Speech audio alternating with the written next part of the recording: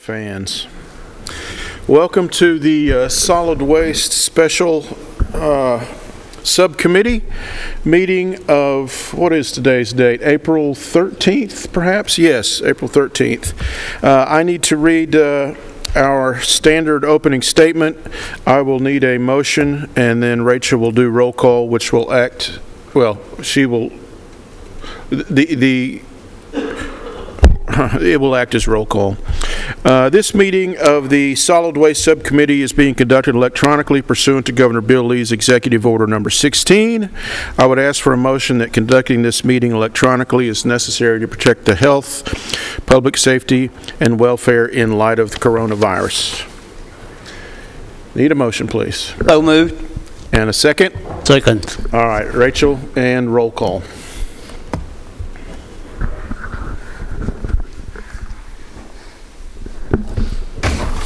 Commissioner Blair, Here. Commissioner Dodd, Yes. Commissioner Harris, Here. Commissioner Piercy, Yes. Commissioner P, Yes. Commissioner Sereno, Yes. Chairman Cush. Yes. All right. Welcome to our first RFP discussion. We've, uh, what, waited a 18 months, two years to get to to tonight. So uh, Becky, I'm going to turn it over to you to kind of do a summary overview, and then uh, we will get right into a discussion uh, regarding our number one RFP on the list, which is Design This. So Becky, take it away if you are ready. Ready. Okay, Thank you. great. Glad to have you here tonight. Thank you for having me.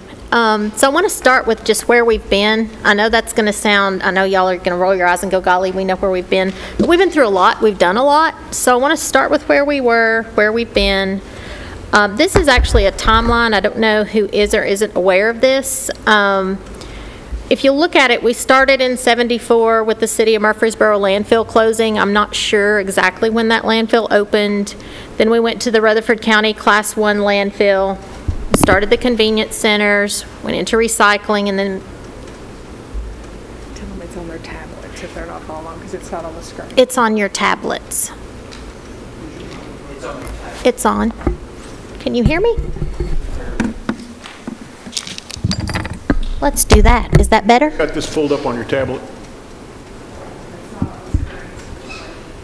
Is that better? Okay. Yeah, You'll have to get right into it, Becky. I'll just have to yell.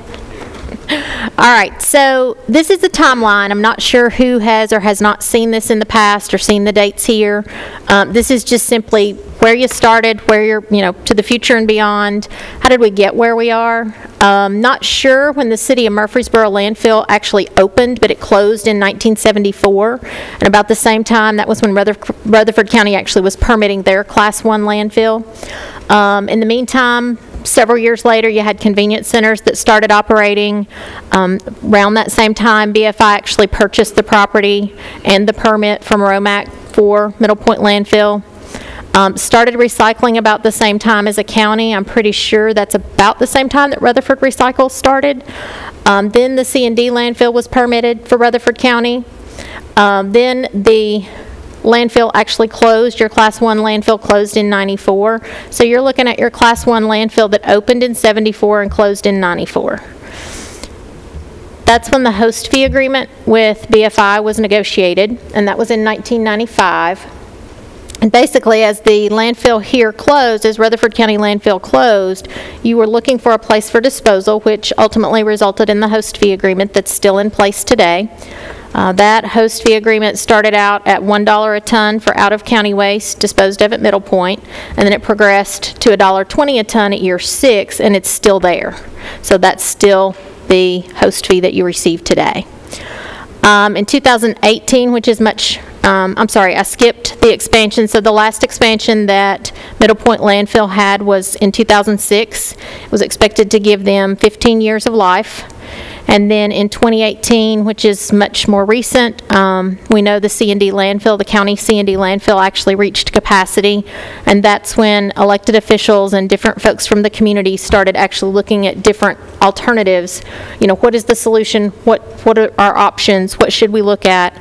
Um, And then, of course, I started working with you all a couple of years ago, and here we are. So to the future and beyond,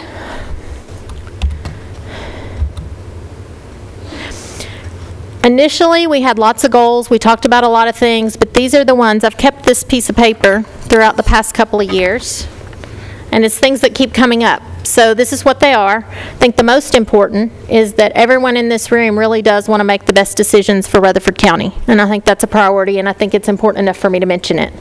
Um, We've talked about not wanting outside garbage to be buried in Rutherford County.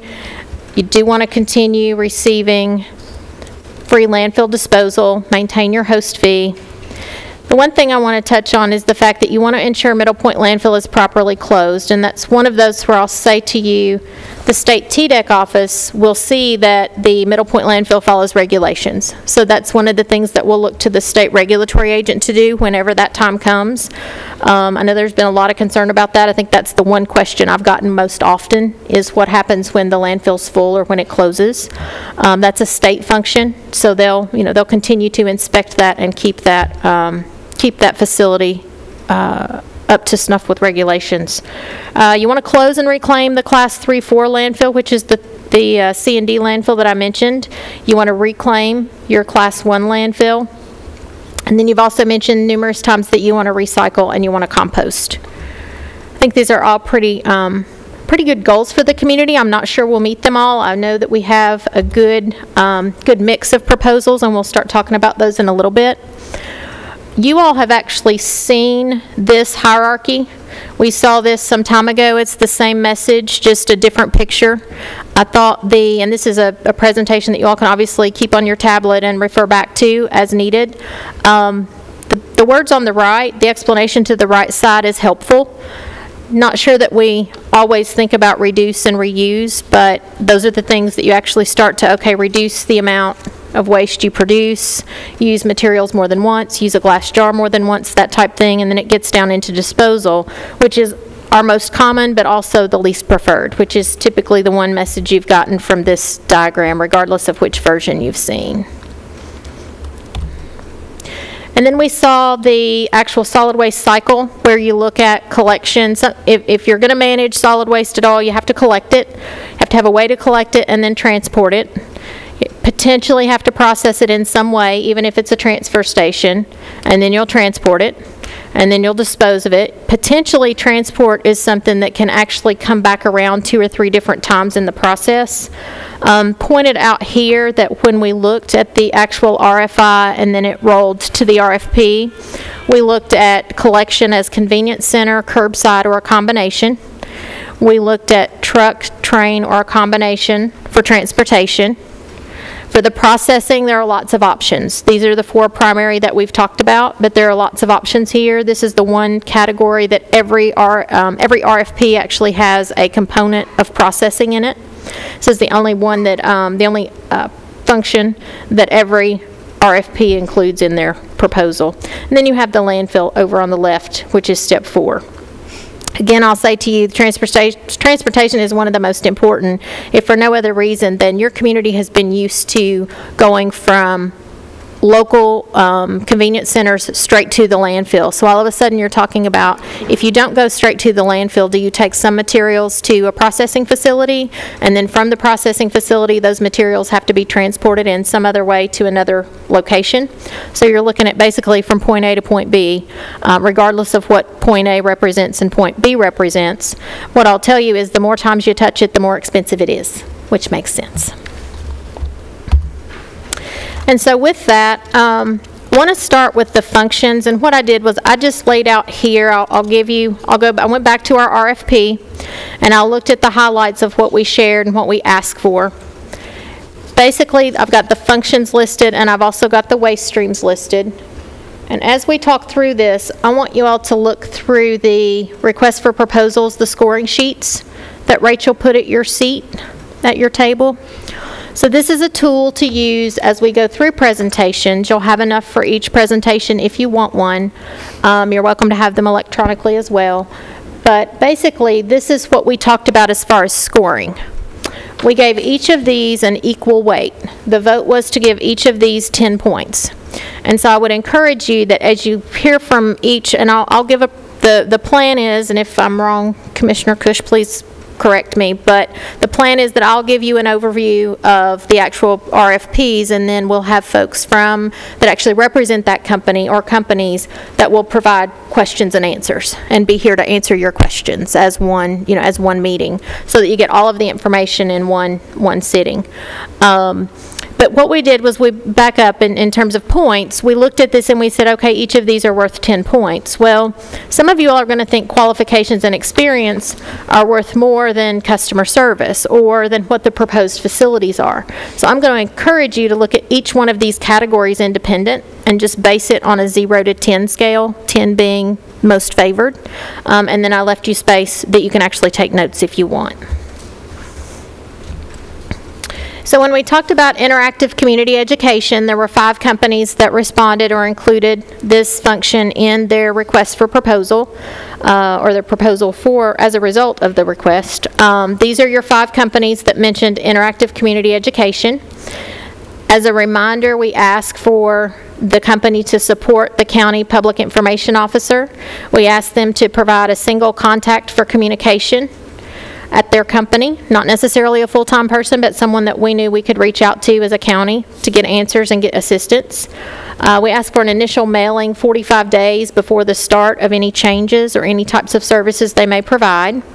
We ask for a quarterly publication similar to a newsletter, and we also ask for their support for a website, for the county website. For collection, you had four companies, and essentially, we ask for convenience centers, which is the current model. There are 15 convenience centers, which does include Haley Road, which accepts recyclables only. We did ask them to accommodate the added operating hours, site maintenance, and other things that the mayor's mentioned in the past. And then there's a small component for curbside recycling, which is the current City of Murfreesboro model. Uh, Primarily, this was a consideration for new residential developments in unincorporated county areas where the density would actually feed an efficient uh, curbside collection service. For processing, again, this is the one function that all nine companies included in their proposal. This is the most diverse function of any.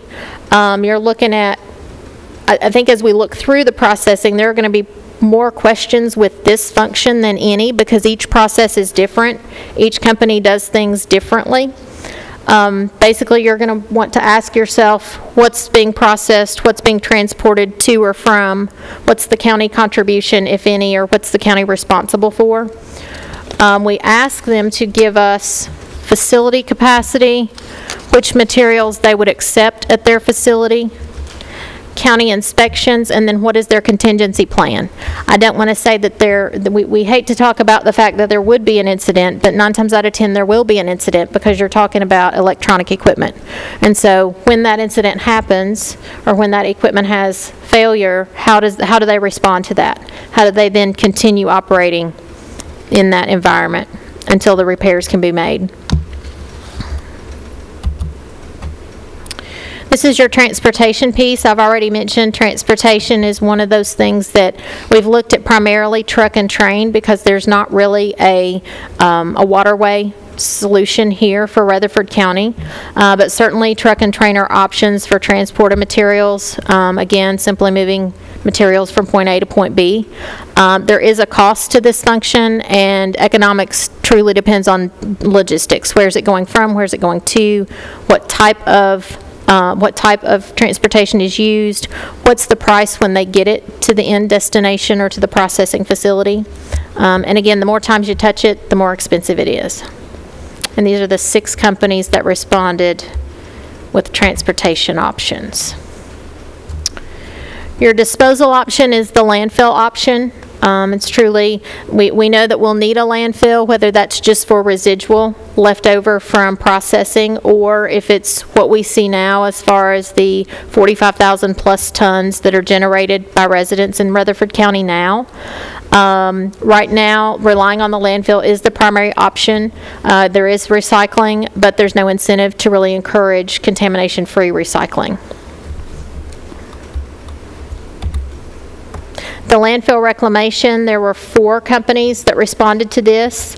Um, I would ask you on this one to look, to look to yourself to define reclamation. What does reclamation mean to you? Um, Some people think, and I've had, several of you all have reached out to me, and I I will say to you this, reclamation could be dig it all the way up, reclamation could simply be take the liability, reclaim, you know, what, what does that mean to you, or what do you want to see as that piece or that function for this process? Now, here's where it gets fun, because we've talked about the functions, but now we're going to talk about which materials the- they will process, or which materials they will actually put into each of these functions, whether it's collection, um, transfer, uh, transportation, processing, or disposal. And I think you have a good mix of things here. Obviously, we've only been through the functions, but you have at least more than one option in each of those categories. So I know that at some point, we talked about, we really wanted a lot of RFPs, we wanted a lot of re- response. I feel like what we got was quality information. Um, Do feel like, again, you do have, there's no one category with just one company in it, so I think there are options. So when we start to talk about residential solid waste, residential municipal solid waste, there are seven companies out of the nine that wanted to address residential municipal solid waste. Um, It is the county's responsibility, and the focus would be, again, residential, uh, residential waste and what's generated by residents within the county. Organics, there were seven companies that also responded to this. Essentially, we said to them, organics would include wood, wood waste or brush, yard waste to include hedge trimmings, grass clipping, grass clippings, etc. Food waste would include food rescue and/or food recovery, and those are the things that we defined as organics, or in the organics category. The recyclables piece, there were six companies here that responded and said they had a component or a piece of their proposal that would be, um, that would accept the waste stream, recyclables waste stream, which included plastics one through seven, glass, mixed paper, and cardboard.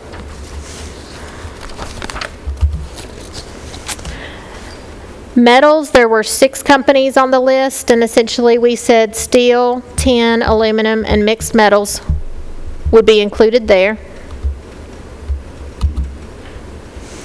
The BOPA was batteries, oil, paint, antifreeze, and electronics. And there are two companies that mentioned um, options for those materials, for those waste streams. Your household hazardous waste, there were three companies. Uh, Primarily, this is household volumes, but they are still hazardous waste, flammable, corrosive, explosive, that type thing. You all have a household hazardous waste collection here at least once a year and usually twice a year. And then problem waste would be items that take extra attention or items that need uh, to be handled in a different way than what would normally be handled. So that's going to be your furniture, your mattresses, unwanted medications, tires. We've talked about all of these things over the past 18 months plus. Um, So those are those things that, that, you know, one system will handle these, but it might not handle a mattress, or it might not handle this. So those are questions we need to remember to ask as we go through the process. And then construction and demolition, there were actually four companies here that responded or said they included this in their proposal. I want to take a moment on this only to say, this was the one item or the one thing in our proposal that was not considered generated by residents.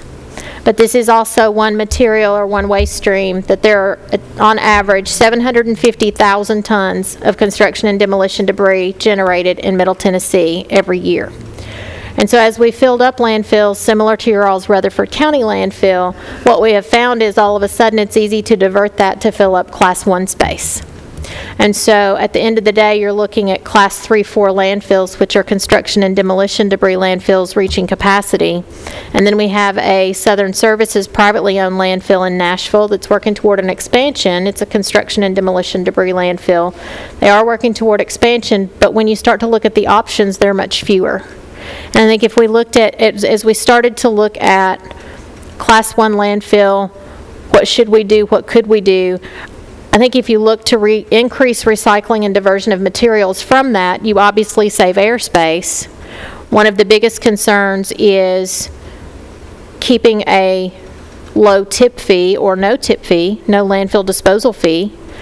But if you start to divert or start to peel away one material at a time from the Class 1 landfill space, you're not giving up free landfill disposal. You're giving up a portion from the construction and demolition debris. Now, I think there are other options for actually recycling construction and demolition debris.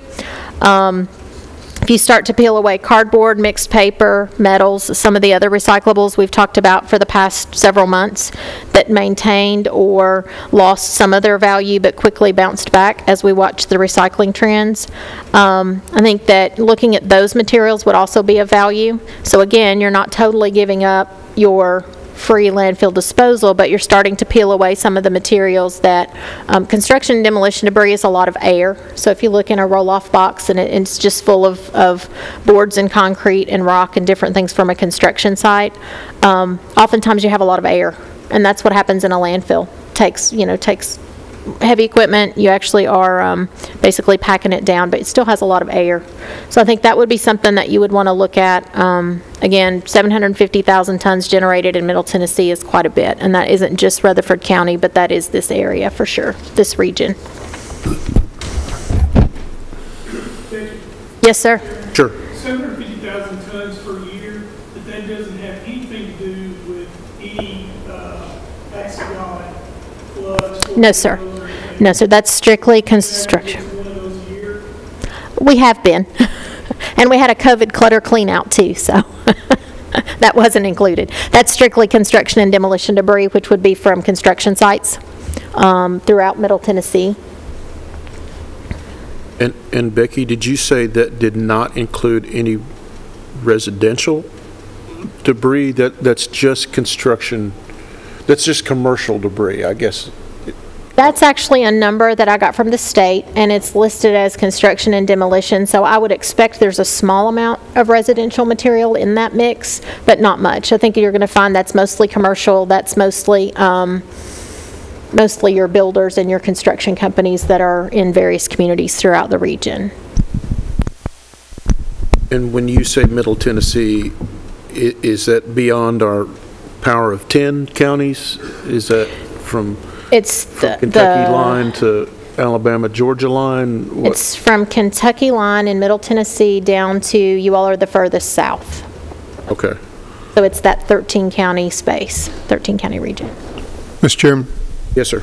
I would like to have a copy of this emailed to me to, uh, to utilize during this process.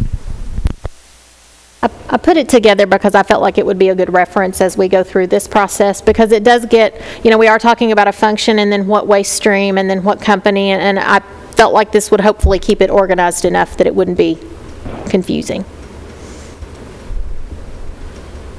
Brings up some interesting uh, opportunities there. All right. All right, so you're on your question slide? I am. All right, gentlemen, any, uh, any questions for what you've heard thus far?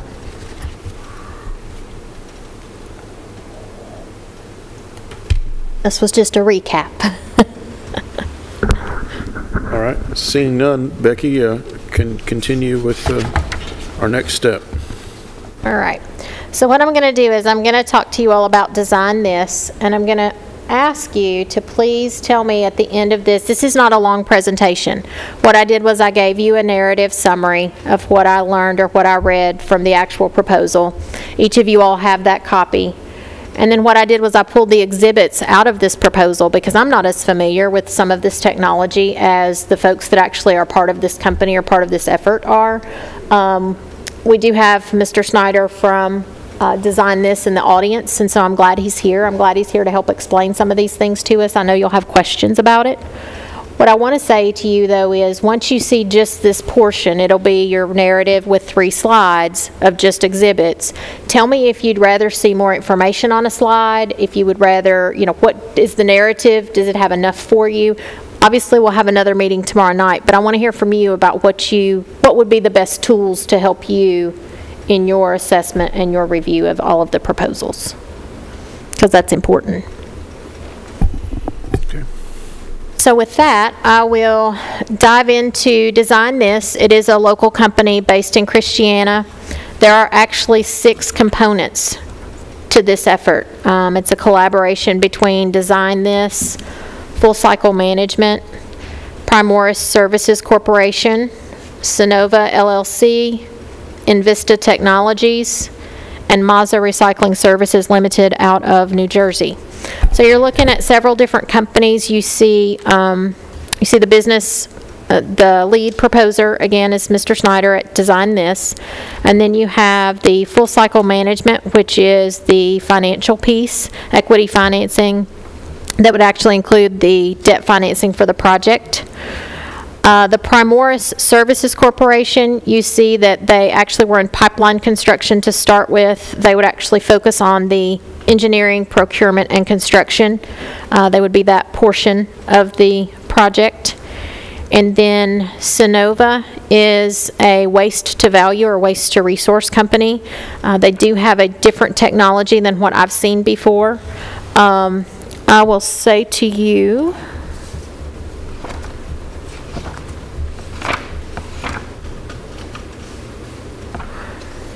that this,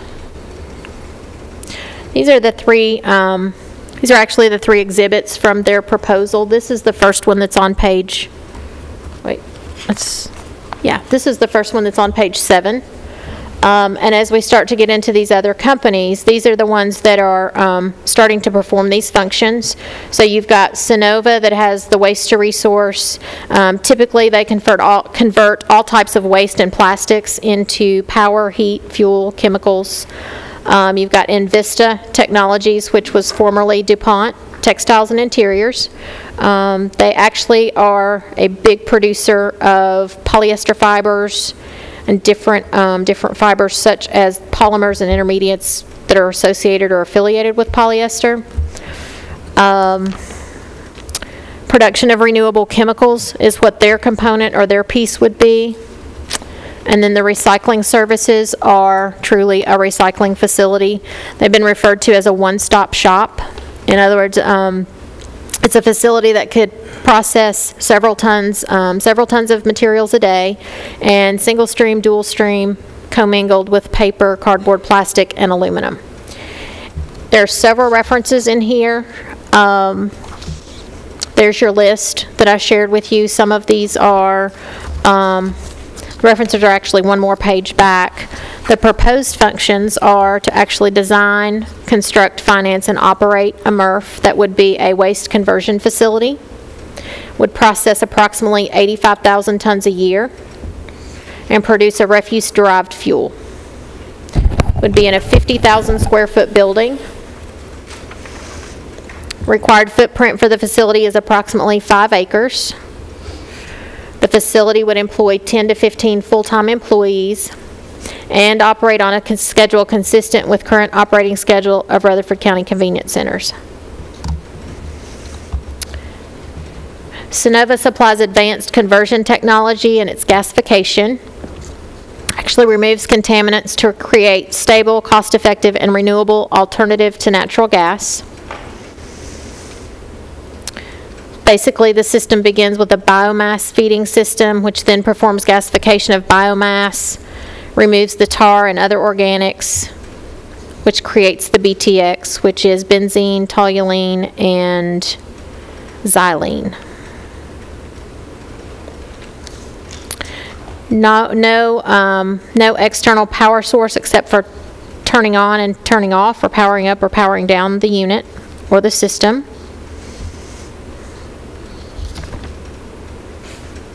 The proposal for this facility is actually at the City of Murfreesboro wastewater treatment plant.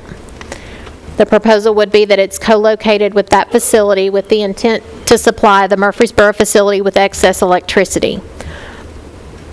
Properties owned by Rutherford County where electricity can be supplied would be considered alternate sites. They do talk about public outreach. I misspoke to you all. Back on page two are actually the development team for each of the components or each of the companies involved, and your references are here. I apologize for the confusion. Looks like they actually have a facility that is, I thought I saw Atlanta. Maybe not.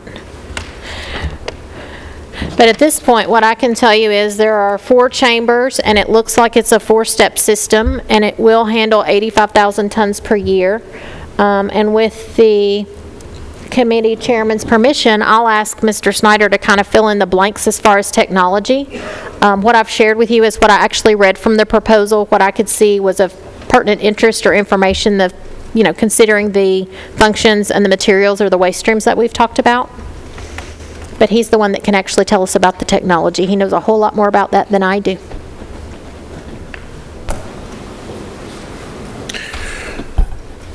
Mr. Snyder, if you'd like to come up, um, and we will uh, let you uh, introduce yourself and your processes, and then we will ask some questions for both you and Becky to the, to the best of our ability and your ability, uh, and we'll, we'll take notes as well. So uh, the floor is yours. Happy to do that. And don't feel bad about having your back to us. You'll, you'll need to speak into the microphone for, Might be helpful if I got, I've got some other slides that'll help explain the technology, okay? if that is okay. Uh, We're going to let IT Becky do her very best to, uh, to do that.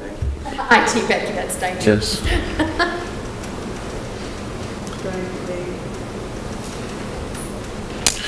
So wh- while we're waiting, uh, Mac, the- two two times I've heard uh, 85,000 tons is the initial process per year.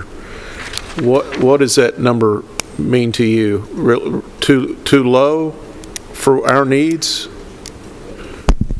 That is the number, that is the number that Rutherford County Solid Waste and City of Murfreesboro Solid Waste combined is 80, roughly 85,000 tons a year.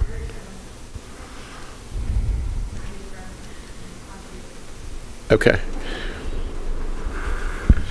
Mr. Chairman, Yes, sir. we've talked in the past about 300,000 tons. What does that include?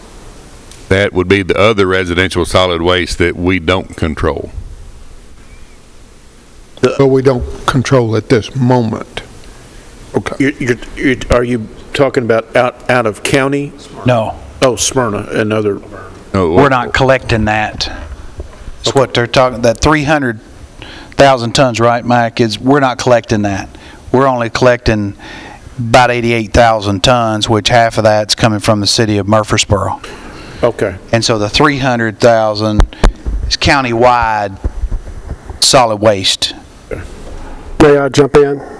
My recollection is that 300 was the theoretical one cubic yard per, or one ton per person annually. So, uh, Chairman, that's a educated theoretical gross if we decided to force every ton produ- theoretically produced in Rutherford County to a place.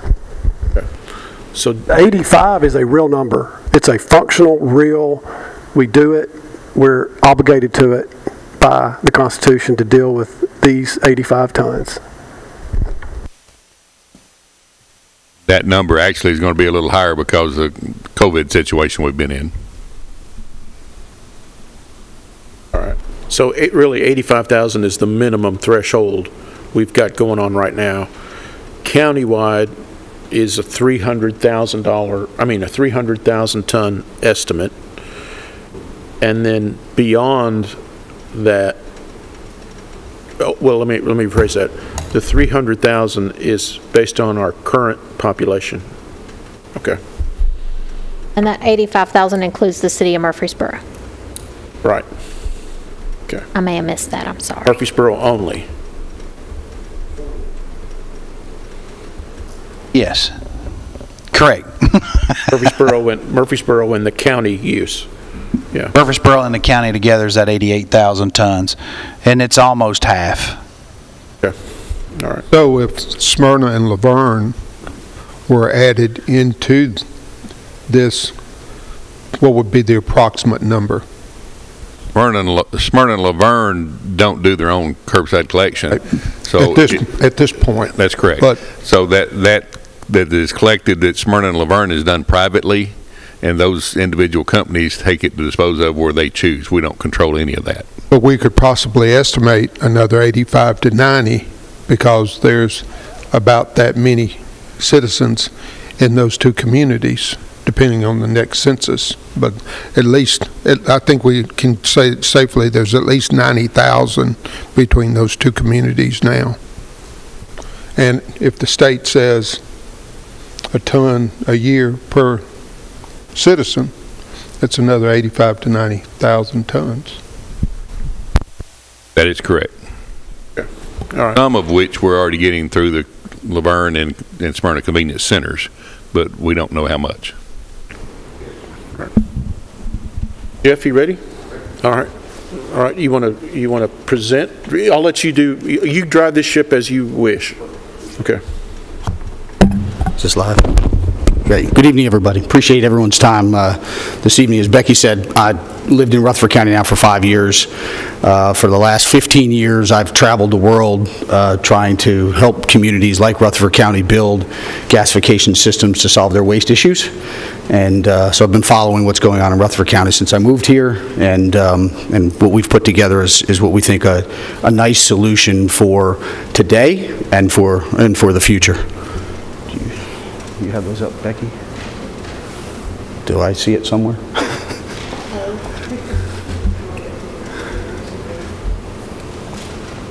A minute ago, we had a, it came up. Yeah. It takes a minute, or did we have to push a magic button? Here he comes. Mr. Chairman, uh, we're, we're in limbo now, waiting. Jeff, do y'all have this same model elsewhere? We do. I know you've got a lot, a, a ton of references and, and photographs and all over the world. Yeah, there are, Does it consist of these? it, it- it does. It does. Currently worldwide, right now, we're developing about 15 projects. Similar, very similar to what's, what we've proposed here. Will this be covered in your slide presentation? Not necessarily, but this is more technical, um, to, to kind of understand a little bit what the technology is. The, um, the Atlanta facility is under construction. It it is, Is and it it doesn't use all of the same equipment that we have here, but it does use a a significant portion of the equipment. Make sure I understood, the answer was that you do have this type of facility in operation presently. At the same scale that we're talking about today, no, we have them at smaller scale in the Netherlands, which is where the technology was originally developed. There are roughly 15 projects worldwide in some stage of development or construction that are of similar size to what we're, what we've promo- proposed. Anything that's, that's almost immediately going online? Uh, Immediately, no. Um, At- Atlanta would be the the nearest term, and that's probably another 12 months out. Um, And uh, we've got two other systems that'll begin construction this year that are 24-month construction cycles.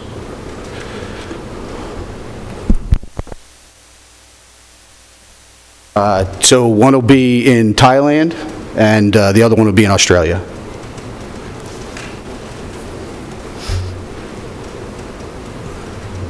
Trying to get the, get that up there. Okay. Technical difficulties. You mentioned Lamar County, Georgia, in, in some of your presentation stuff here. They were, were doing some processes, processes several years ago. Uh, and I don't- haven't checked to see where they are. Do you know? I, I don't. That's it. It is one of the projects I'm not heavily involved in. Um, And again, it's a, it's a gasification project there that's using some of our gas cleaning systems to get to, uh, get to power but I don't know a lot of details, Mac, about it. Okay, thank you.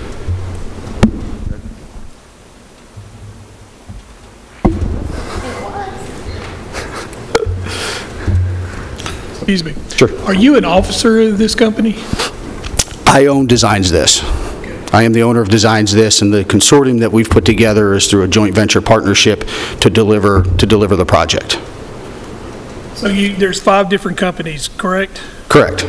Okay, d- is there someone over all these five? I mean, are you have authority on these, or is this some kind of joint? Yeah, so I So did, one bail, my, my question is, if one bails out, does it mess up the entire organization of this? uh, it, it, I'm basically riding herd over the entire group of, of companies, and so I likely won't back out. Um, But uh, we've got commitments from all of those, of all those companies. Those are all companies that we're currently working with on other projects as well in, in a lot of cases. So it's not a brand-new team that's been put together. The team has some, some history. Uh, uh, So, can- while we're waiting. Sure. So, continuing on with that question, i- in, in your other worldwide current projects in a variety of different statuses, are, are all these six players involved, or, or or are there different players involved in some of the?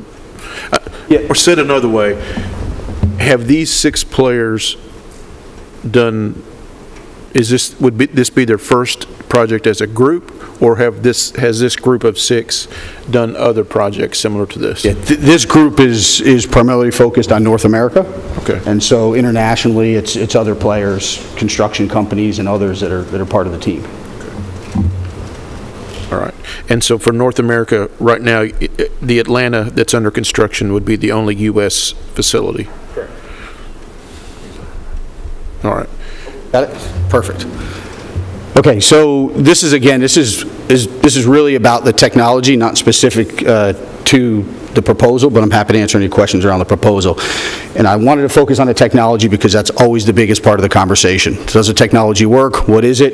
Is it a black box? Is it not a black box? What is it? I'm here to tell you anything you want to know about the technology. We don't take, uh, you know, this is my black box and I'm not going to tell you what it is approach. We're pretty transparent from what the technology is. I'll tell you straight up what it can and cannot do. And so the technology is owned by Synova. Uh, The technology, uh, if you go to the next slide for me. Sorry. Keep going. Here we go. So the technology, and I won't read through each bullet point, but the technology was originally developed by the ECN, which is the Energy Lab of the Netherlands. It's their equivalent to the DOE. And that's where the technology was originally developed, and Synova has acquired the worldwide worldwide license for that technology.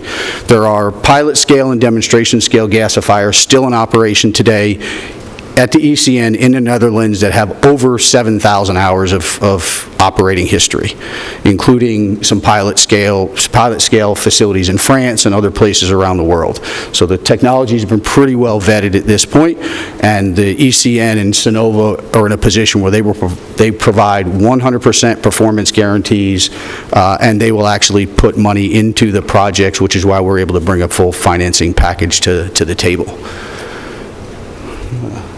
Next me. So again, this is really, looks like we're missing a little bit on that slide for some reason, but essentially, this is really talking about what the system can, can and can't do, and so it can process a wide variety of feedstocks, and while our proposal focused on the MSW, we have projects that we're doing are just around C and D waste, we have projects that are looking at ag waste, so nutshells, those types of things, we have plastics-only type of projects that we're looking at, and then we have projects that it's all mixed together into a homogeneous blend of feedstock that ultimately makes it into the gasifier. So really, it's, it's very flexible from what it can do on the front end, but what's always consistent is the gasification and the gas cleanup step, and the pre-processing then is always somewhat customized depending on the feedstock. Vic, you want to go to the next one for me? Oh, there it was. Didn't realize it was a drag-in. So, uh, again, on the back end, the system produces a very clean gas. It's almost equivalent to natural gas. It's very close to the consistency of natural gas. And so because of that, we can do a variety of different things on the back end. We can do something simple as make power, or provide that nat, that syngas to a boiler or some other piece of equipment that would use natural gas. We can make some liquid fuels out of it, like a BTX, especially on an MSW that has a high plastics content, uh, or we can make other chemicals that can go back into the remanufacturing of plastics. So depending on feedstock, will depend on what we actually can do on the back end of the system. Um, And so MSW is one of the interesting feedstocks, um, and this, this system was specifically designed to process MSW. It wasn't designed to do something different, and then we're going to try to shove MSW through it. It was, it was specifically designed to do MSW, which is probably the most difficult feedstock, and then we can do simpler things with it as well, if you don't mind. This is a rendering of what a system looks like, and there's really, you know, just a couple of main components here. And so if you look in the green is the gasifier, we call it the MILENA. Um, I didn't name it, um, how they came up with the names, I'm not sure. Uh, You've got the Olga, which is the gas cleanup step, and then on the front end, you've got, uh, I think that's the front end, sorry. Yeah, that's, the back end is your power island in this rendering. And so again, that back end could be power, it could be a boiler for steam, it could be um, hydrogen separation, because there is hydrogen in the gas, so depending on what the client needs, or the customer needs, or the offtake client needs, we can customize that back end with the same feedstocks. Okay. So for those of you all that have the proposal with you, the gasifier is on page 10, and the Olga ga- gas cleaning system is on page 12. And I'm going to show you a close-up of those as well. So again, I I won't read through every piece of this, but essentially, there's two proprietary pieces of equipment here. The rest of the system is off-the-shelf equipment that we typically buy from, from pre-approved vendors. And so we've got the MILENA, which is the gasifier. It's a two-stage gasifier. Um, So essentially, there's an initial gasification stage, and then there's a second stage of it as well to maximize the energy conversion of that feedstock. And then we have the Olga, which is the gas cleanup. Historically, the big challenge around gasification is that the syngases that come out are dirty. They have particulate, they have light and heavy tars, and they tend to, like pine sap almost, and they tend to gum up the back-end processing. This gas cleanup system is off-the-shelf, essentially used all around the world in refineries, and so we're just bringing it into the gasification application where we take out the the the tars, those tars are recirculated back to the gasifier, we pull out the particulate and the moisture, and that gets us a very clean gas that is acceptable into engines, uh, into into the pipeline, if that's what we need to do with it, or some other use. If you could, Becky. Uh, While you're on that, if you could talk just a minute about, in here, it was talking about, um, it doesn't use um, high temperatures like your plasma gasification stuff. Correct. So the difference in that and how it would function in our uh, solid waste stream that we have here in Rutherford County that you're saying, because you're definitely interested in it, definitely, you think it will work in this climate and, and what we're producing as far as solid waste. So tell us how that's, If, if, I've got a slide, it's just a gasifier. If we get to that, then I'll answer any of the technical questions around that, if that, would- if that would be okay? Perfect. So again, this is just a slide showing the optionality of what the system can actually do. So we've got the first block, boxes, it's feedstock, common, common denominator is the gasifier and the Olga cleanup, and then on the far right is the back end, and it's the different products that the system can make. Some of those products on the back end require additional equipment to do it, but within the gas, that has that ability to convert that gas to those other, other products, like a BTX uh, or a drop-in diesel. Uh, It can be upcycled to renewable natural gas, so pipeline quality gas. Uh, There's a whole bunch of different things. Olefins is an example, which is a pretty hot market right now from plastics. Olefins are what are the base of making plastics. And so it's all in the feedstock. What we're doing is making it readily available on the back end, um, depending on the application. Here, we've proposed something simple, which is just making, making power at this point. Okay? Power would actually go back into the wastewater treatment plant or at another There's, location. there's likely more power than the treatment plant is going to need. Um, I'm also in the wastewater industry, so I've operated plants for years. And so, you know, this system is going to produce somewhere around 8 megawatts of electricity. And so that, that wastewater treatment plant isn't going to be large enough to use all that power, so we'll have to find, uh, you know, other than short of putting it back to the grid, which we can do. Um, We've talked, I've already talked to TVA, and so we, there is a path to putting power back to the grid. It's not uh, overly attractive based on the price that they're willing to pay, but it isn't, it is, it is part of the, part of the equation from monetizing the power.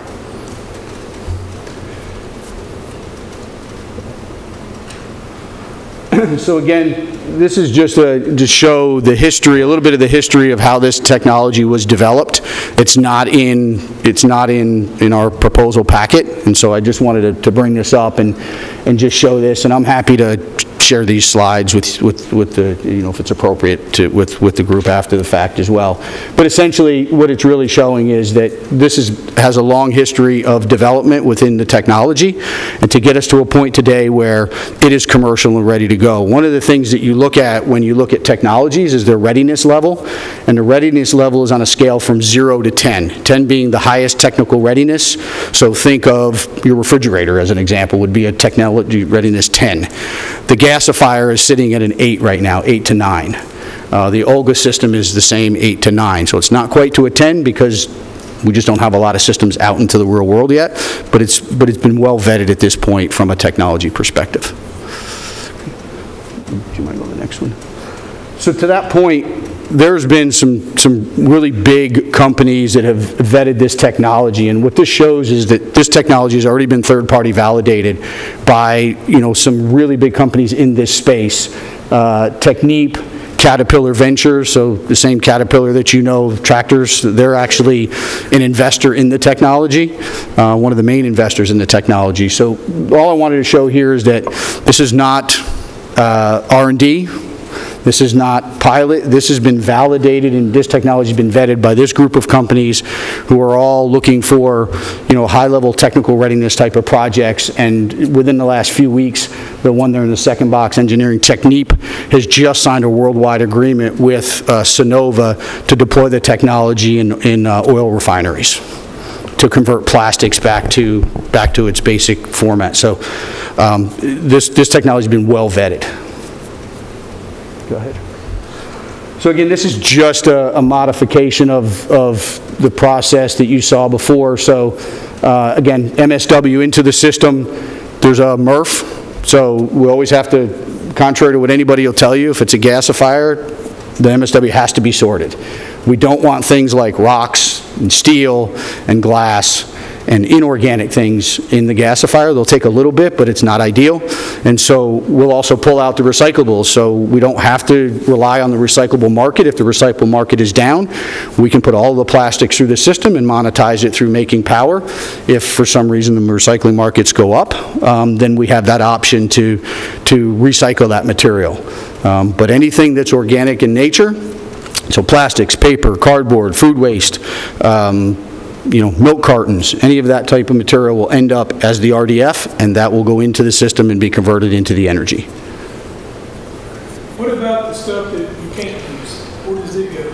So if it's, if it's inorganics, we can't recycle it, then it's on us, we'll find a, we'll find a landfill that we'll have to take it to. You'll take care of it. Yeah, yeah, this is, this is a, we, we- you know, our, our, our offer is turnkey, you drop it off, it's our responsibility. A lot of it has to do with the, the, the local conditions, and so what we historically see is around 5% of the incoming is material that, that can't be recycled or put through the gasifier, roughly.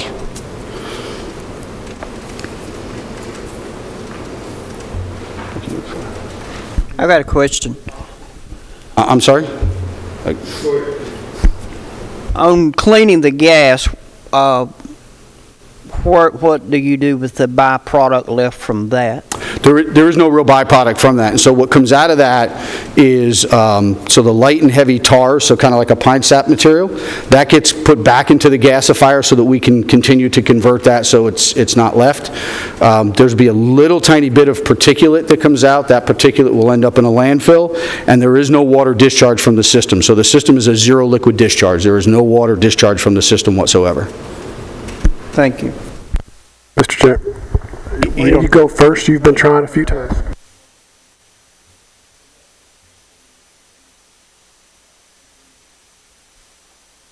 No, it's, it's non-toxic.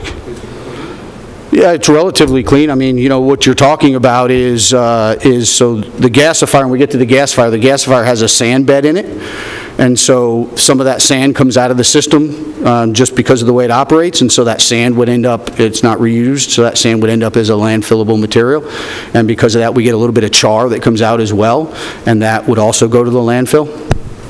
But they're non-hazardous. We've got analysis and data that shows, now, if you put, you know, if something gets into the system that's hazardous, and because of the temperatures we operate at, it doesn't convert it, you could have something hazardous come out of the system, but we don't, we don't generate something hazardous just by the way the process works.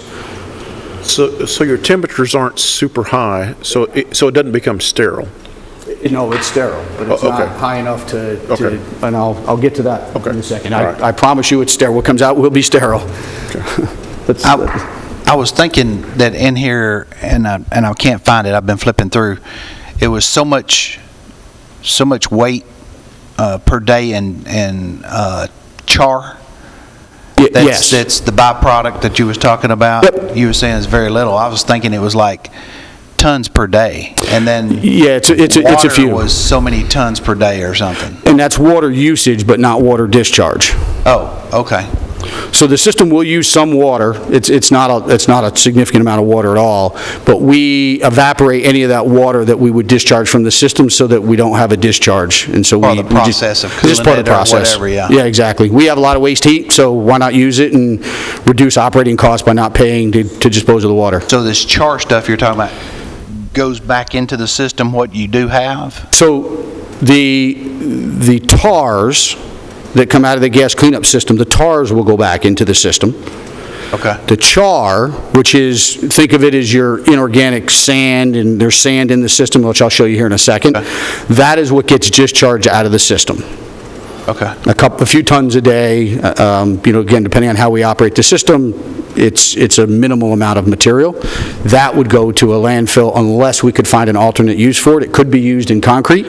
Uh, It's a non-hazardous material. We've got T-clip analysis of it. It's, it's inorg- in- inert material, and it has very low carbon content to it, and so there are potential end uses for it, um, depending on the local conditions.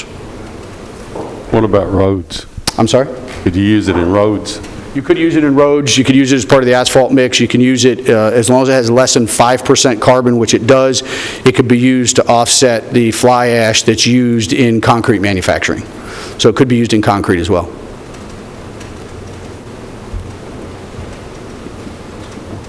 There we go. So I'll actually walk over to one of the slides, if that's a- one of the screens for you. So this is, uh, everybody hear me?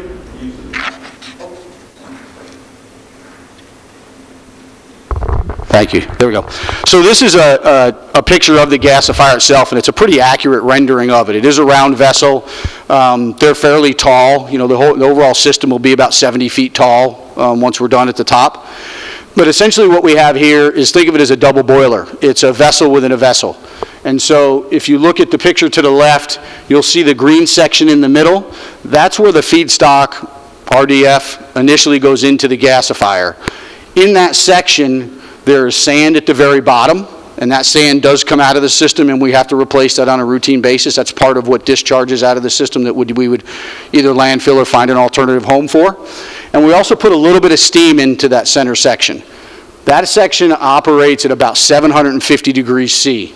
So call it about 1,100 degrees Fahrenheit, 1,200 degrees Fahrenheit. So hot, but not crazy. I've seen gasifiers run at 2,000 degrees. I've seen plasma gasifiers run at, well, what they say is 8 to 10,000 degrees. This is a fairly low temperature gasifier, but it's a high enough temperature that we get a very high level of conversion of the carbon. So we always look at carbon conversion. So the feedstock has carbon in it, that's the energy value, and we're trying to strip that carbon out, and when you do that, you reduce the volume of material and you create energy.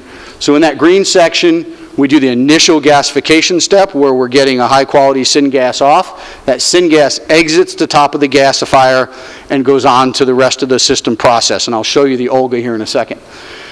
The particulate that's left after that first gasification stage trickles down into the gray, into the pink area. And essentially what we're doing there is continue to add air at this point and really heat that section. So that section runs a little bit hotter, it has a longer retention time, and we use that to heat the inner vessel. So we're basically a double boiler is essentially what we're doing here. This design has come right out of the oil and gas industry. And, uh, and, and they're, they're called crackers, naphtha crackers. It's one of the ways that they make different fuels. And so this has been transitioned from that type of an application to this. And so both chambers have some, some tar or some sand at the very bottom. The outer vessel in the pink area then has a flue gas, if you will, that comes off. That flue gas would be recaptured, and we can use that waste heat as well for part of the process. And then we also have the, the syngas. No moving parts inside the reactor whatsoever. It is refractory line to, to maintain, you know, heat transfer, uh, to, to, to keep heat within so we don't have a high level of radiant heat loss. What we end up with at the end of that process there is we get out 99% of, 98 to 99% of the carbon in the material.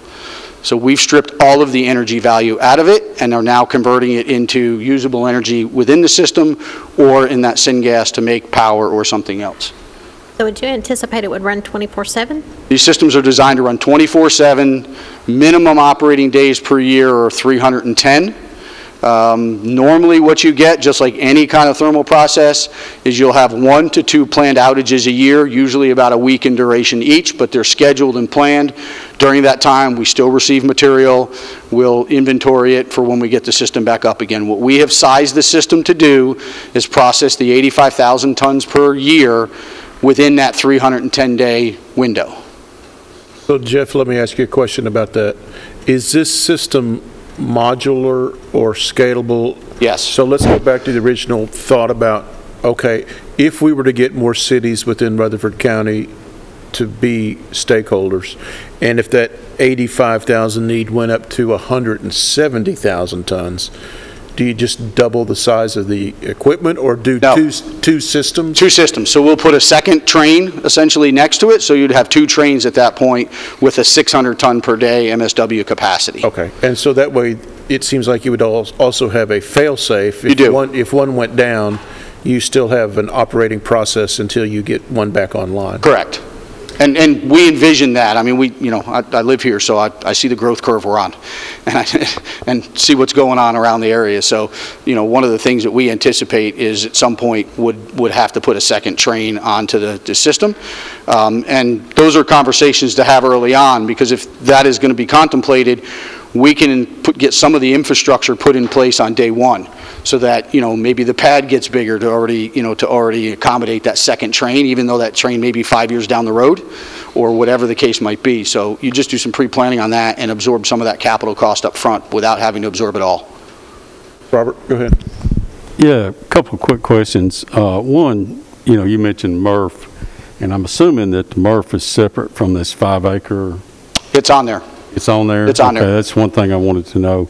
And the next, you keep referring to this product being used in the gas production system, petroleum system. And, you know, I've read too many times about petroleum plants that have burned and exploded.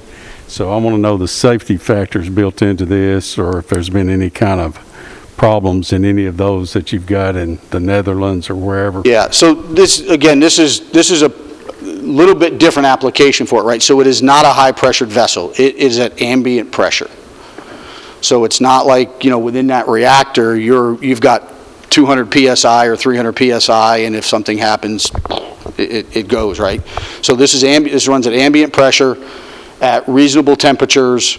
Um, There are lots of safety features built into this system. There is a significant amount of monitors and probes and sensors within the system that once you program it, say, I want it to operate at X temperature, if it exceeds that temperature, it'll go into shutdown mode automatically. I've not had a history, and I've been dealing with gasifiers for 15 years, operating them myself as well. I've not had a single, single event like you're describing yet. And the last thing for right now is odor. You know, I, I've been to some MRFs, and inside the MRFs, you've got some odor. Outside, I didn't notice that much, at least in the one or two that I've been to. Uh, what's your opinion on MRFs there if we were trying to locate this somewhere um, in a municipality, for instance? Yeah, so first, deliveries need to be in a building. That building has to be under negative pressure to minimize the risk of odors getting out the door. You know, once we process through the MRF and it goes into a, uh, the RDF, and once that RDF goes into the gasifier, there's zero risk of odors at that point, because you're high temperature, and how do you deal with, with odors? You deal with essentially heat and, and, and and to deal with any odors. And so you're certainly going to have the potential for odors at the receiving of the MSW and in that processing parlor, if you will. But again, that's all comes to design, and so we've got to design it right so that we're not, you know, a bad neighbor. The whole goal here is, is that this needs to fit into the community. You know, it's kind of behind the scenes, it's not an eyesore, you don't really know what's there, and if you do it right, it can be done. And not, not be a nuisance at all. I kind of want to touch back on Commissioner P's question. BTX, benzene, toluene, Yep, xylene, right? Mm-hmm. Highly flammable. they are, but we're not doing that in this system. You're not going to do it in this? Nope. Okay. This is strictly power. 85,000 tons would equate to how much volume of syngas in the syngas having market value rather than sitting in the facility? Would it, would it sell in the open market? It, does not. There is no open market for syngas. You could potentially take that syngas, add a third step to the process, if you will, and purify that syngas to renewable natural gas, and essentially put that natural gas into, that renewable natural gas into the natural gas pipeline. Um, It's a little difficult to do here in Tennessee, Um, but, you know, in other places of the country, that's, like California is an example, that's part of what you do, in- what we're looking at in California to do is, is making renewable natural gas and putting it in a pipeline. Here, you know, our costs are really low compared to a lot of other places.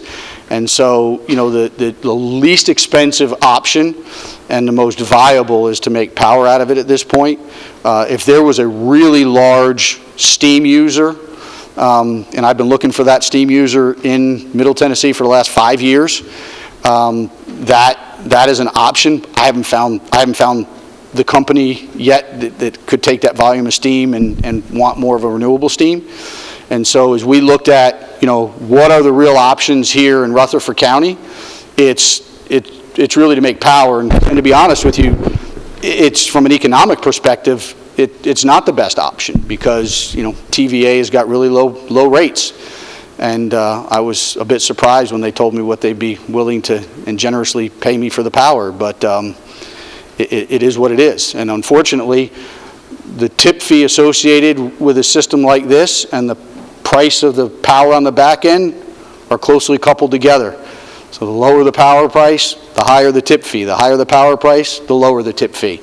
And, uh, and it's just not here, it's everywhere. And so um, it's, it, Middle Tennessee is challenging from, uh, you know, from a renewable energy perspective. Have you checked with Bridgestone? They cure their tires with steam. They do. I've toured the plant on many occasions, and over the last several years, I've had many meetings with the folks at Bridgestone. There certainly have been an option.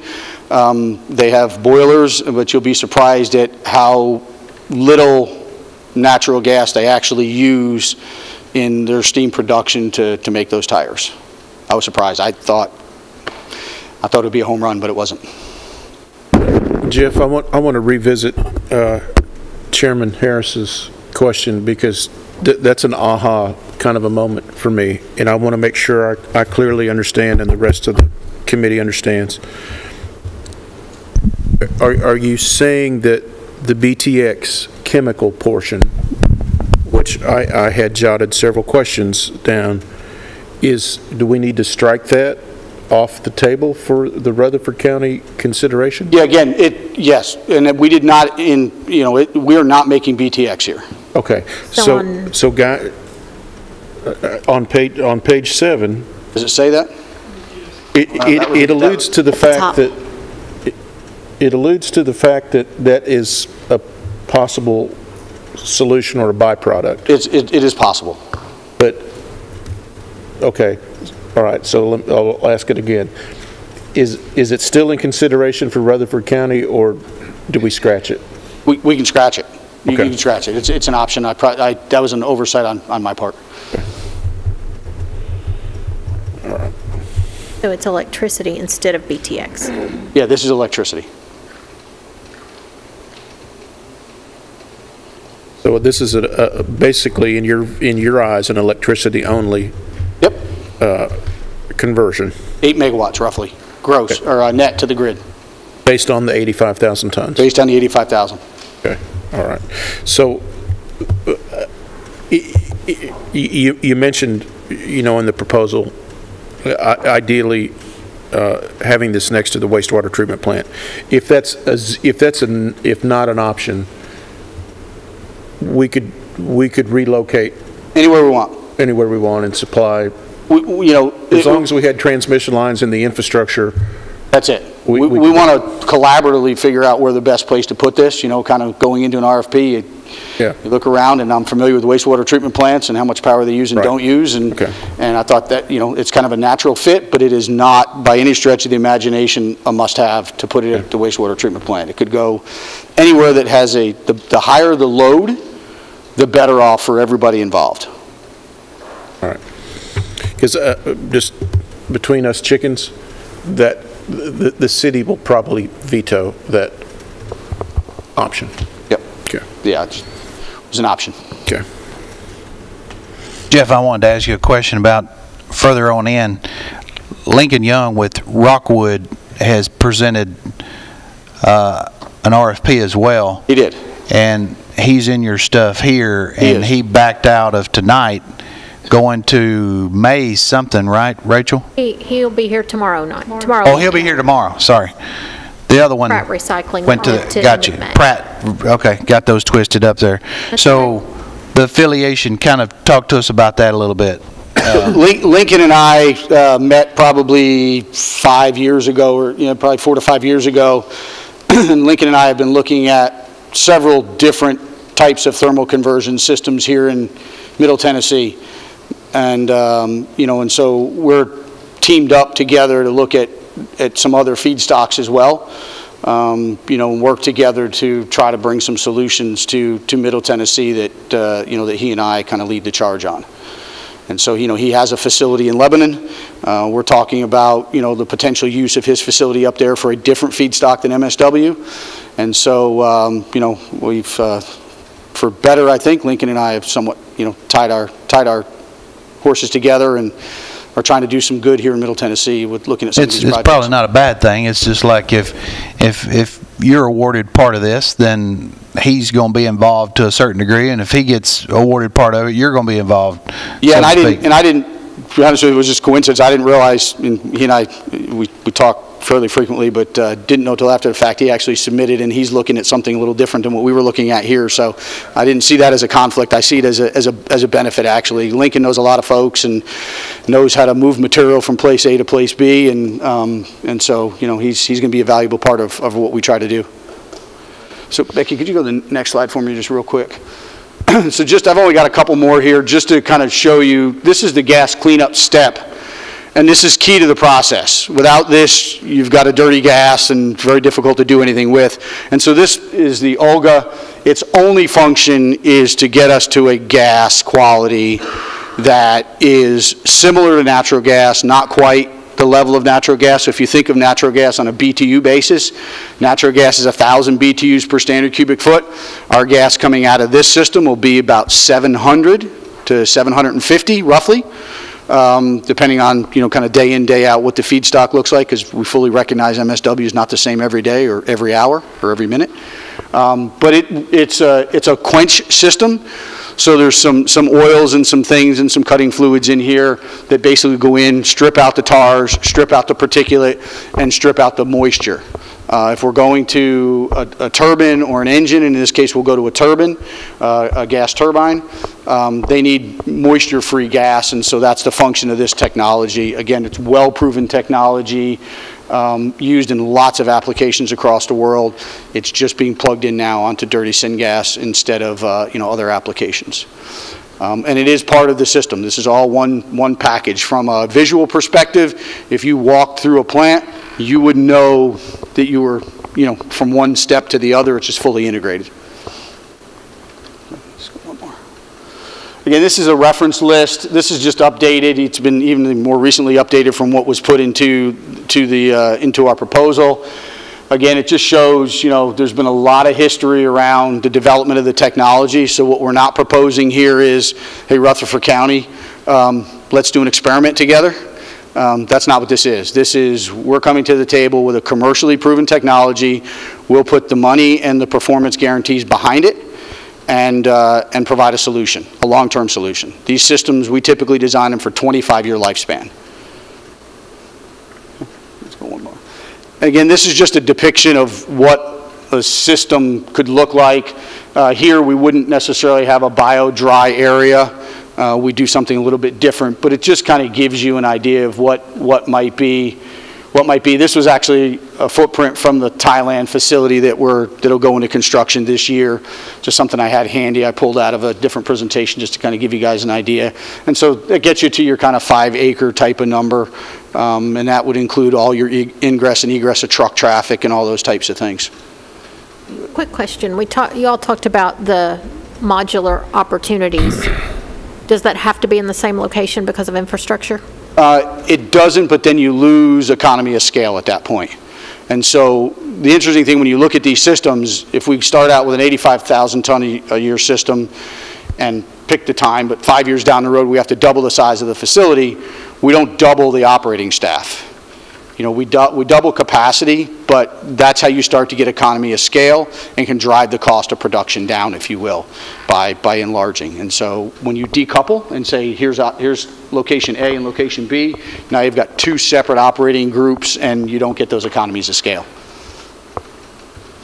And so this is, this is a rendering of a system of the size that we're contemplating here. This is actually the facility that'll go into construction this year. This is actually in Thailand. You can see in the upper right, or upper part of the picture, the tower that's there. That's actually the gasifier and the Olga system. And the building here in the front is where you're receiving the MSW. Simply has a conveyor that feeds the top of the, top of the gasifier, so there's no outside storage of material. All the processing of the waste is inside the building, the fuel is inside the building, the conveyors going from the building to the gasifier are fully enclosed conveyors, and then everything within the gasification system is, en- is enclosed. So- you, said you needed five acres, and you wanted to be by the treatment center. Is that correct? Yes, Do you, have you talked to the city about this? I, I have not. Do you have another proposed site if that does, if the city doesn't want that? What, what we've said, what we've really said in the, in the proposal is, here's a, here's an opp, here's a, here's a site, a potential site, but what we really want to do is work with the county to identify the right site. I, I think it, I think picking the right location for this is key to get full community support, and I think it, it can't be just us picking the site. I think it has to be a collaborative effort between the county and the, and the, not just us, but whoever the, the ultimate winner of this is. I think it's a broader conversation around the right location for this system.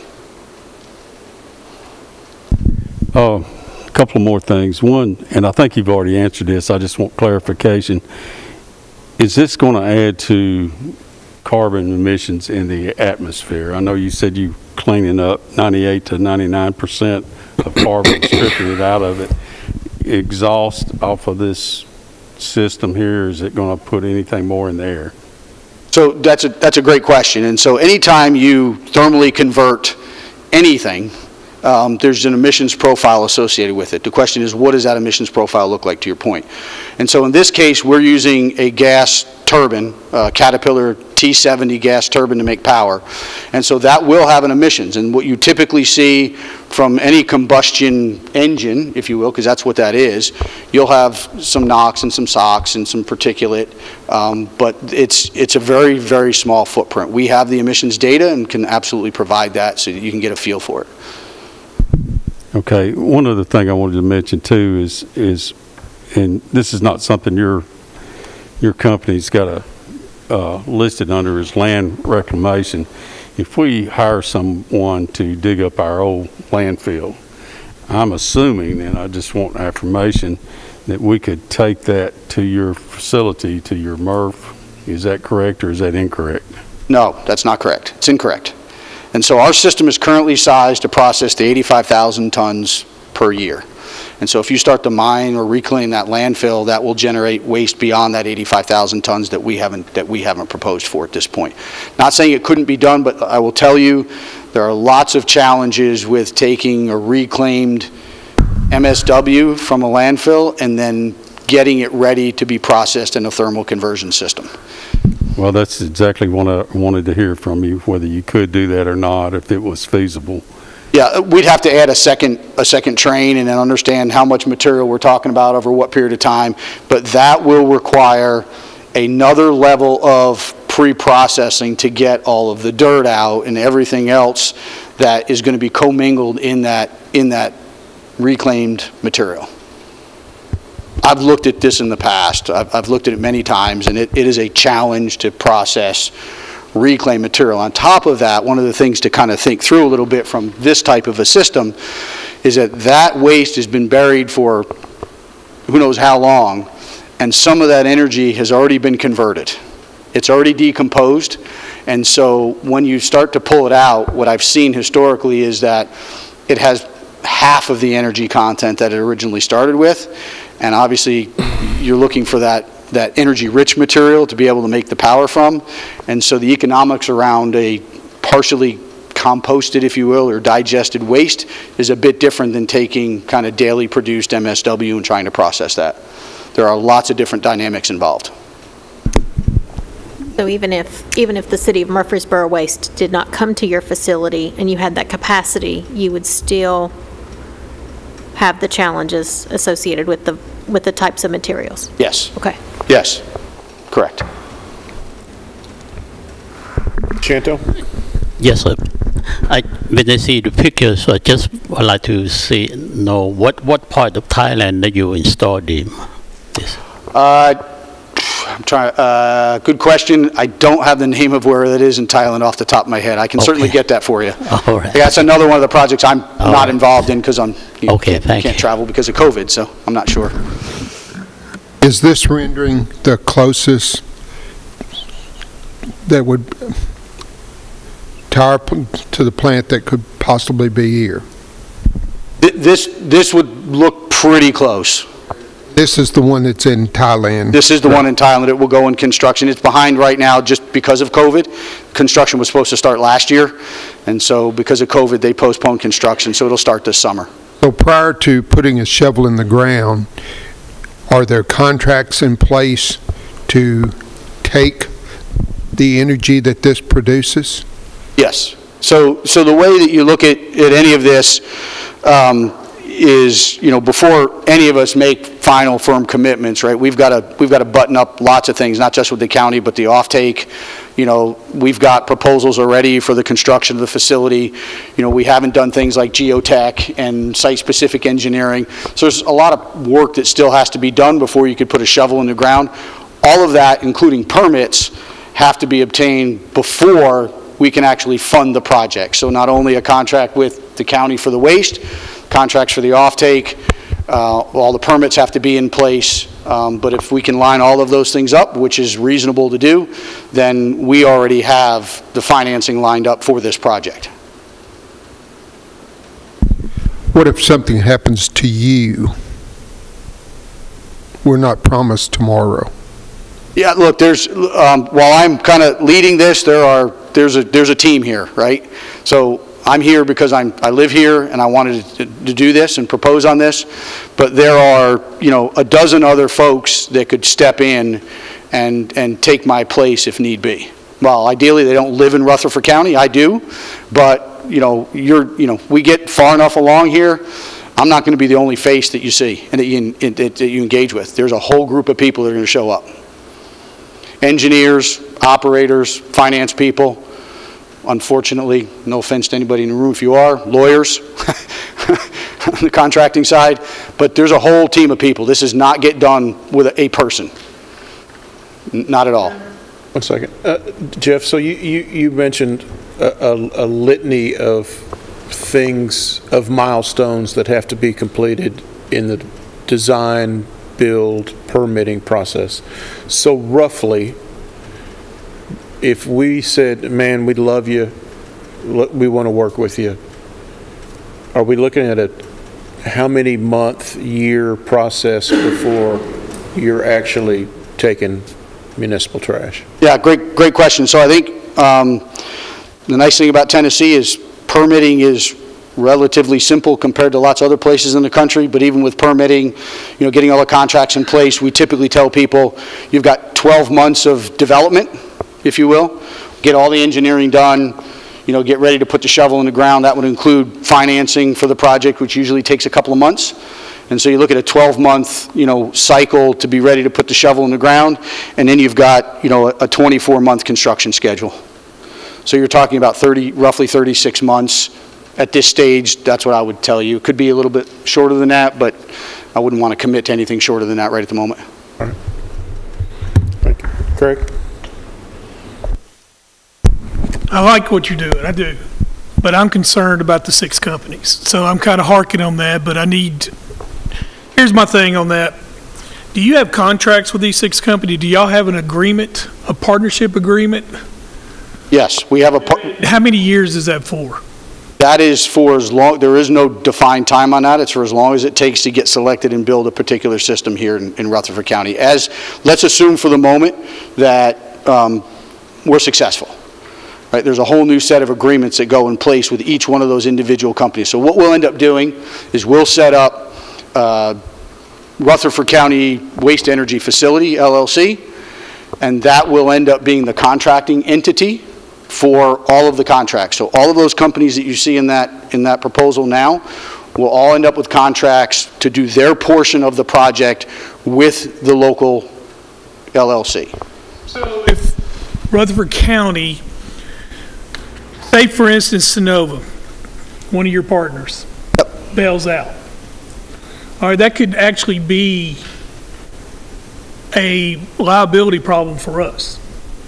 Now, my question to you is this, um, would these guys sign contracts with the county and in, in return for doing business with us? I'm concerned about this being multi-layered, a lot of tentacles right here, and if mm-hmm. one goes, then the county is held liable for this.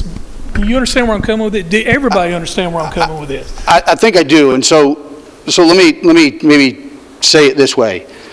The county is going to contract with one responsible entity, and that entity will provide the county whatever guarantees and warranties and performance metrics and put-or-pays or whatever, whatever that language looks like, to the county. Okay? There's one group, one entity that that happens with. Just like building anything else, you've got lots of subcontractors. All of those entities in there, while they're partners of ours, because we have already gone through the effort of, they've gone through the effort of getting educated around our system, what it's going to take to build it, each one of those parties is a subcontractor essentially, ultimately to the project. Each will have their own contract to that project to do their scope of work. Primoris to build the thing, Synova to supply the gasifier equipment, Full Cycle to provide the financing to the, to it. Uh, There's some not listed, Munich RE to provide the performance guarantees and all those types of things. And so the, the risk, if somebody fell out, is, is really on that entity. And yes, it does trickle back to the county uh, ultimately, because if, if Synova, as an example, backed out, why they would, I have no idea, because they've already approved us putting the, putting the proposal together, um, that, you know, that, that we're going to, the likelihood of that happening is pretty minimal at this point. Um, and- But I get where you're coming from, but that's really how to look at this, is that there is going to be one role, one person, one entity that is, that is a responsible party here, and all of those partners are our development partners at this stage, because that's what we're doing. We're trying to develop a project, and contractually, they will all make obligations to the project with lots of different uh, performance guarantees that they'll have to make, that they're going to deliver on time. They're not going to back out. And if they back out, there's going to be penalties involved. Um, But Synova backing out, you know, they're, they're, it's hard to tell by the proposal, but um, Full Cycle, who is in there, is actually the owner of Synova. And so um, the likelihood is that, you know, that they're not going to back out. All the projects I'm doing right at the moment, they're all with the Synova technology. This is their business, and there will be one responsible party to the county. All of these folks that that we've identified in here will play a part, but ultimately, we're going to make and warrants and represent, rep- and repres- and and represent certain things to the county that put us on the hook to perform and deliver. We're not asking the county to put up any capital. Realize that if for some reason we're not successful, there's an issue with what do we do with the garbage? But if we sign that contract that says, look, we're going to build this thing and we're going to build it by this date, and if we don't hit that date, that's our responsibility. It's not the county's responsibility. It's our responsibility. That's normal part of trying to build these things and contracting these types of projects. So if this project started and it either didn't get completed, didn't get off the ground, or failed, and I have no expectation that it would or wouldn't, but if it did, this company, this LLC entity, would then manage Rutherford County garbage however you needed to manage it, but their price wouldn't change. Yeah, that we're making, we're making a, a commitment on pricing, not just for today, but long-term. Bill, did you have a question? Okay. Steve and then the the mayor, Becky or Robert, yeah. Yes, sir. Gave us some great questions, and so instead of me sounding like this is my question, I'm going to read this question because it's a very good question. It's kind of like what the commissioner was asking right here. Identify who is responsible for customer service response and how that communication is established and maintained. That's very, very, very big question. So that's why I wanted to read it. So it comes out exactly like that. Yeah, look, look, look, as we, as we structure the project, okay, right now, I'm, I'm here. I'm, I'm the lead proposer, right? I'm not going to be the guy that operates the plant. You know, that's not my role. My role is to develop these opportunities. As we structure this, there are going to be people that are hired to run the plant, to interface day in and day out. Their job will be to service Rutherford County a plant manager, uh, uh, uh, you know, that type of person here, just like you'd see before. There's going to be lots of people behind, but there is clearly going to be one line of communication with that entity, and it has responsibility, and that person will have responsibility directly back to Rutherford County. Provide reports, communication, whatever the case might be. I think it's pretty, pretty typical to see that. Is it going to be me? No, you'll see a lot of me in the first 12 months, and you'll see a lot of me over time because I like to be around when these things are running and I have an operations background. But, you know, eventually I move off and I go do the next one and I develop the next project. And, you know, we don't do a lot of these bids, to be honest with you. We do very few responses to RFPs because they tend to cost a lot of money, and a lot of the things that we do is we go develop our own opportunities outside of the RFP structure. But um, that's, that's really how it gets set up. You know, who, who are you going to interface with now? Me. For the next, you know, through negotiations, I'll be the guy at the table. There'll be lots of others, but I'll be the guy. I'm it. You know, I'll give you my cell phone, call me anytime you want. I'm fine with it.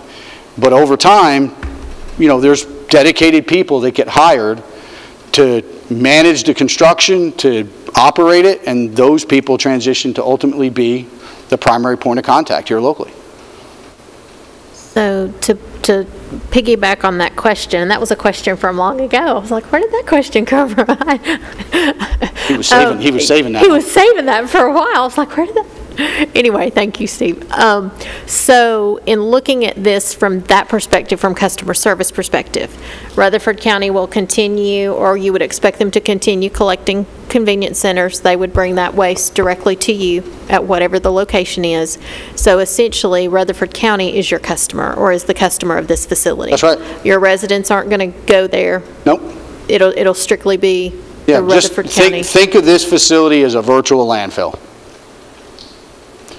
Collect the waste any way you want to, with whoever you want to, instead of hauling it to a bigger transfer station or hauling it to another landfill or putting it on a rail car or a truck and driving it down the highway.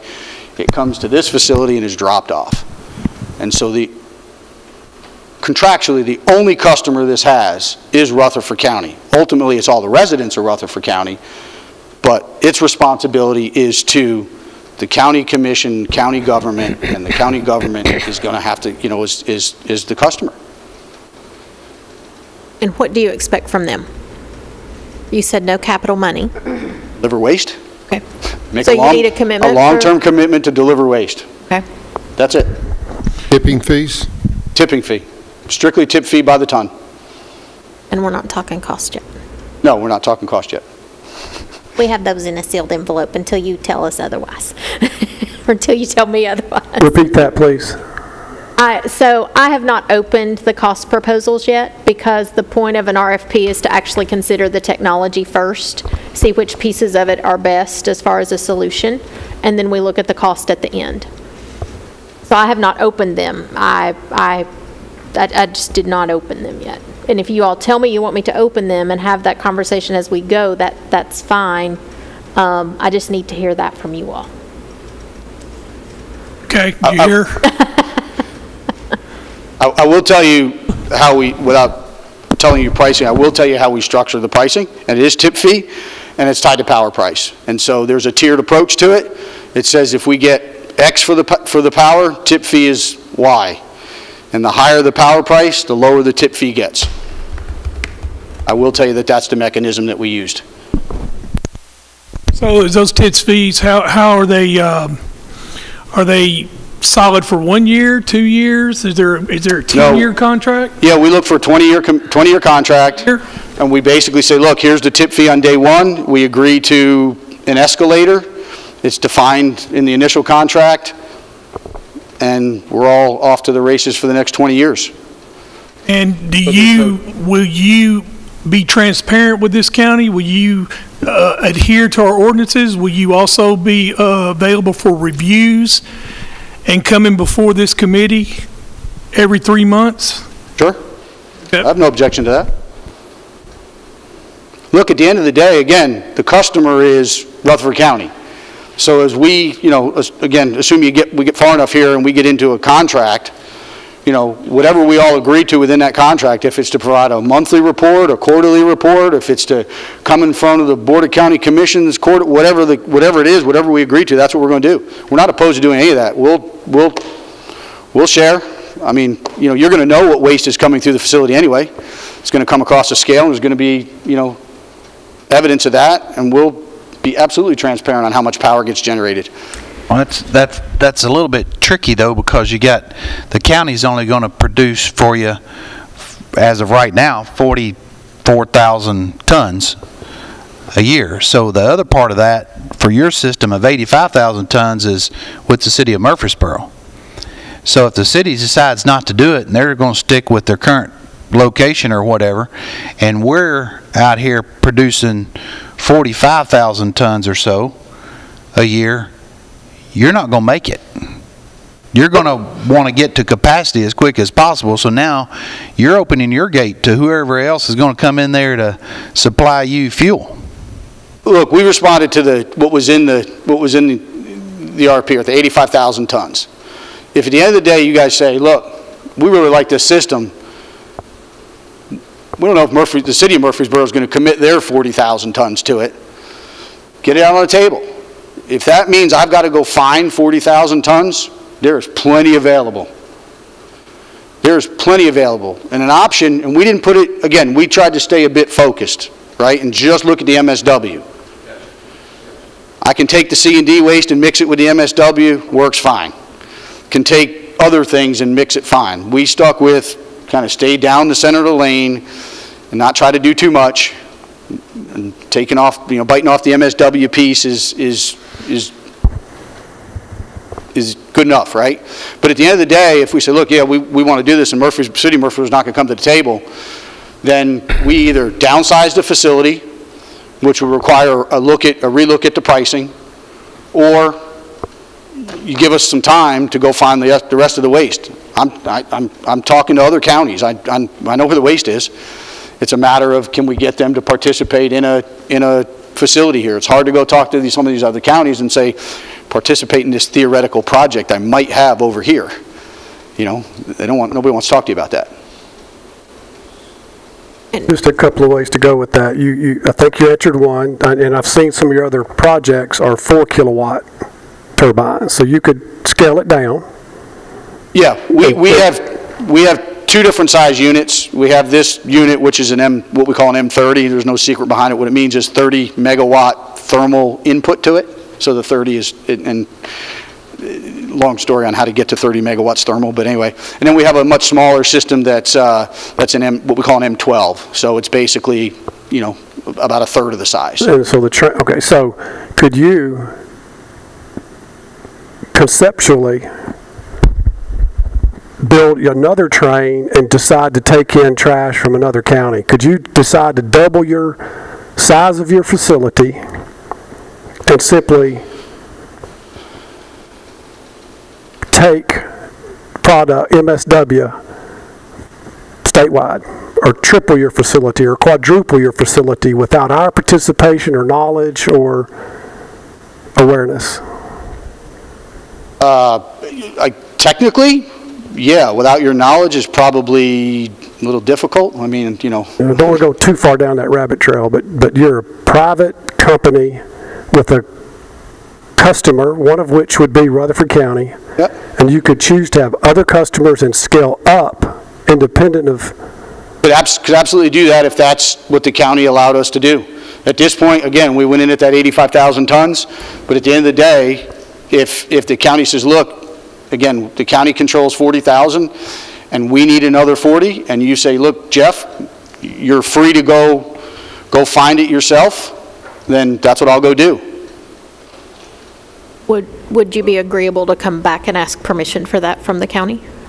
Yeah, I, I don't, I don't have any issues with it. my thought is, re- re- in, in this case, Republic does not have to have our permission to apply for another sale and take on trucks from 30 counties. What's the diff, well, again, I, I'm, I'm afraid I'm going down a rabbit trail, but you're an independent company with a contract with us, would be one of the scenarios. Yeah, that, yes, that, that, you're technically, I think you're right. You're, you're right. We would have a contract with the county, we're an independent company, but I don't think that's what we're trying to do here. I know, I know, and again, I'm, I'm, I'm going to, I'm going to stop my question right there. Okay. And- and- Along that same line, though, I mean, we're growing by 25, 26, 27, 28 people a day. So if the city is coming on and with the county and we're producing 85,000 tons now, as soon as you open up in two years, you, you're past capacity. So y there's a growth factor in there that, okay, now what are we going to do with the other stuff that, that we've got that it's got to go somewhere. So Yeah. you, you, you're out of capacity by the time you get it built. You know what I'm saying? Well, and I think that's, you know, again, you're potentially right, that we're at a capacity the day we build, and I think that's part of, you know, it's, e- it's easy to say, you know, it's kind of interesting, I, I do this a lot, and I talk to a lot of folks like yourselves all, all over the country. And it's easy to, to say, look, you know, this is what we're going to do, and, and that's it, but, you know, I really look to, to be a little bit more collaborative than that, right? And that we all need to be on the same page as to what growth is going to look like and agree on a growth curve. What all the experts say is one thing, what we physically see is another, and, and forecast, all this out and, and come to say, look, when we get to this point, you know, we need to look at that second train, and what's the impact of doing that, and, you know, when's the right time to do that? I don't believe that that is a decision that my company should make in a, you know, in a bubble, right? Because I don't think that's right. That's not being a good, a good neighbor, if you will. We're here to solve a problem for the county, try to solve a problem for the county. That's what I'm trying, that's what we're trying to do. And I could easily go find a piece of property, not easily, but I go find a piece of property and build, build one of these and hang my shingle out and go, hey, I'm merchant, and take from anywhere and everywhere, Franklin, Spring Hill, wherever, it doesn't matter. But that's, I don't have an interest in that. I have an interest in working with the county and solving the county's problem. And if that means that when we get done talking through this, that there's excess capacity in that facility, and there's a benefit to not just myself, but to the county to, to let others in, then we'll have that conversation, we'll figure that out. May I hear you say one more time, if I understood you correctly, our obligation to that facility as a county would be to supply the waste and tipping fees. Is that correct? Correct. Yep. Long-term contract, again, this thing is going to last 25 years. You know, so we look for 20-year contracts. And and Commissioner Dodd, I don't know if you heard the question or not when I asked. So Jeff did say that he would be willing to include the um, addendum or a piece of the contract that says he would be required to come back, or his team, or this company would be required to come back and ask permission from Rutherford County to actually accept waste from other companies or certain amounts, or, he said they would be willing to include that. That kind of answers your, your question. Yes. All right, so a, a moment ago, you started down a path, I think you were going to get to simple clarity before we open the envelope. You said, consider you as a virtual landfill. You just about had me. I almost understood how to sim- dumb this down for me. You're the virtual landfill. Take it from there. Can, can you? What, el- how can I expand on that for you? So essentially, We dump it, we're done with it. We pay a tipping fee, we're done with it. you're done. There's, there's We no just, market, at, there's, at the gate, truck rolls in, we weigh it, dumps into the, dumps onto the floor of the pit, right? We now take care and custody. That waste is now our problem. They own it now. We own it, essentially. And, and granted, the, the envelope's gonna be critical, because if you don't have power at the other end, the tipping fee goes up. If you have to haul it out of here, the tipping fee goes up, and I'm sure that's the, in the, in the, you're not Our price is set based on whether or not, you know, if, if something happens to our facility, and I've got to divert that material for some reason, that's not a county problem, that's my problem. There's not a separate tip fee for that. You pay one number.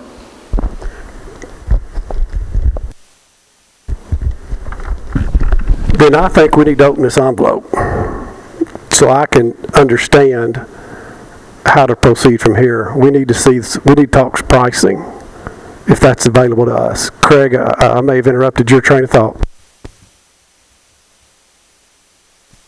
Let's go to Mac, quick, with a question from Mac. Not long ago, we had a little bit of ice fall around here. We didn't haul any trash for five days. So if we've got a commitment to you for so many tons a day, where I'm going with this question, I'll just come out and ask the question, how much storage capacity of fuel source do you have? How long can you run without another load being dumped? So normally, we'll put somewhere between three and five days' worth of storage in there. Um, You know, and you're right, nothing moved for essentially a week, right? And those are, you know, essentially, you know, acts of nature, and none of us can control that. And so, understand that if that situation happened and we had to bring the system down, it's not the end of the world. You know, we can actually idle the system, leave it hot, and then quickly bring it back up again. This is not a system that takes two weeks to shut it down and two weeks to start it back up again. Um, It holds a lot of heat within it, and so startups, you know, if we know that we're gonna, you know, we've got a three or four-day interruption, we'll, we'll, we'll operationally deal with that. I don't see that as a huge, a huge challenge. I think that, if there's a challenge to it, it's when you can start hauling again, all of a sudden you're gonna get four days' worth of volume or five days' worth of volume in a matter of a day or two, right? Or three, and to make sure that we have receiving capacity to account for that slug of material. That's probably a, a bigger consideration than I, I worry about whether, I- whether the gasifier has to get shut down for a day or something like that. The other thing, I think I read it, maybe I dreamed it, uh, y'all will be open when we're open? Yeah, I mean, essentially, you tell us what hours work. I mean, I, it, this gasifier runs 24/7, so, um, you know, there's gonna be people at the facility 24 hours a day, seven days a week. Our trucks run 24/7. Bring them on. I have a, I have a question. I keep, uh, Mayor keeps, he keeps nudging me, he wants to say something, so he, he's being very patient. Um, So Jeff, let me ask you a question. It, eh, whether, whether we pop the envelope and look at a price or not, my question is going to be related to a fee. if Rutherford County says, hey, we want to, or we partner with one of these others on the RFP list, say we want to take care of construction demolition, or we want to take care of recyclables ourselves, because yes, sometimes there's a market for it, sometimes not. Or maybe we think somebody else that wants to do the cardboard and, uh, and compressed paper has a better deal or dangles a better carrot, let's say. Do, does your deal change? Because I, I know if you do the recyclables and you would benefit from, if there is a profit, you would benefit from that. If we take that deal off the table, does that change your dynamic and your proposal and your fee schedule? Uh, It, it does, but not as much from the perspective of the value of the recyclables, because we're not putting a lot of value on it anyway. Yeah. The bigger issue for me is that when you start to pull out things like plastic and cardboard, it changes the overall energy content of the feedstock, and so it may not change the throughput, we may still end up with the same volume of material, but I may not be able to make as much power either. Right. That makes So sense. So that's what's called the mass, our mass balance, our energy mass balance. And so, you know, what we've contemplated is what was provided, and if that feedstock characteristic changes because you want to bring in a different group to pull other recyclables out, I, I don't have an issue with that. It's just a matter of, we're going to need to understand that before we can commit to, to any numbers at that point. I understand. That makes perfect sense. Mr. Mayor, would you like to ask a question or give a comment? Thank you, Ms. Snyder. Uh, Thank you for uh, taking the time to uh, show interest um, in our waste stream for the next 25 years. We thank you for your submission. Um, We like doing business with local folks, and it'd be awesome if we could do business with uh, someone that lives here and Great. provides that. But as, as mayor, it's my job is to get down into uh, the weeds a little bit and ask some technical questions. And to all the questions that have been asked here today is to make sure that um, we protect the, the commission and the assets of this community. Uh, So I'll, uh, will probably thoroughly vet, our office will vet everything that's been discussed here today. Um, How many employees does um, Design This have? Two, Two, you and your wife? that's it. Okay. So uh, when you sp- speak of "we," uh, you're talking about your team. I guess those would be the engineers and all the other people that come from the other companies, uh, uh, Full Cycle, uh, Synova, Correct. et cetera. So Yep. that would create the team. You threw up a list of your references, um, and it's not on our SharePoint because that was probably on your flash drive that you, you put in. Um, Are there contact names and numbers that, that, that we can vet? Yeah. Um, Yeah, okay. yeah, look, we'll, we're, we're willing to, you know, make an, you make a request and we'll Okay. give you the information. We just need to make those contacts with, with all these different companies you're doing business with. Um, And uh, not saying that you're not telling us the truth, but, but that's what we have to do. Uh, We just have to. Fully um, expect it. Yeah, yes, sir. Um, So we'll do that. It's your, it- it's, um, design this, are you registered in this state or with the Tennessee Secretary of State's office? Yep, Tennessee. Okay. And so I hope you understand that in order for us to uh, bring you the type of, of tonnage that was in the RFP, it's going to take, uh, we can't make that decision for all the other entities, the city of Murfreesboro, Smyrna, Eagleville, and La Vergne. Uh, In order to um, pull them all together, we're going to have to discuss uh, the direction because they have to participate in order to make any one of these that we're going to be interviewing in order to, they're using the same numbers that you were provided. So in order to make anything, whether it be a state-of-the-art recycling, a gasification process, or state-of-the-art composting, any type facility, when you're making that type of investment, you base it on those numbers of the waste stream coming in. You seem to be very knowledgeable in, in uh, your industry, and, and um, glad we have somebody that knows something out in Christiana. Is uh, we've, every one of us in here have learned a lot about trash and uh, waste streams over the course of the RFI and the RFP. Um, But we're serious about it, and we want to make sure that we choose the right partner uh, to do business with. So um, can you, can we keep that uh, flash drive with that information? Because we don't have that. I have, Download it, yes. Okay. Simple answer is yes, we'll make sure you have a copy of it. Okay. I- If if you don't mind, it's in PowerPoint now, so would want to save it as a PDF, but otherwise, yeah, I don't, I don't have an issue sharing that. Okay. Not at all. Uh, And anything that needs to be redacted or anything else, we, we don't want to share that. Nothing in there that needs to be Yeah, I redacted, just so we're good. will will need to follow up and make contacts with these companies and, and uh, talk with them as well. But uh, I certainly appreciate your knowledge and bringing all this forward to us tonight. I'm just curious, that, that facility right there, what is, what does that facility cost? What would be the cost of something like that? Uh, That's a little different, just be, well, I can give you a number, but I don't know it's going to help you equate it to here in the U.S. because things are, labor and things in Thailand It's are in a Thai lot less expensive. What is But- your, if- the one you want to build here, how much would that cost to build? I would say that if, if it stays at the 85,000 tons, I would tell you that the cost to build that, the facility here in Rutherford County will be somewhere between, I'll give you a range, not a specific number, would be somewhere between 55 and 65 million dollars. For the eight, for the 85,000 tons? Yes, a- as a range. Okay. All right. Don't So- hold me to it, because there's still some site and things that, that affect all those numbers, but generally, I think, you know, that, that's kind of where, where, where a system like this would, would cost. That's, that's Oh. a, All of that cost is on your entity, not this one. I'm sorry? All of that cost is on your company and not the county. Yeah, absolutely. Yeah, yeah. Yeah, this is a design, build, own, operate by our team.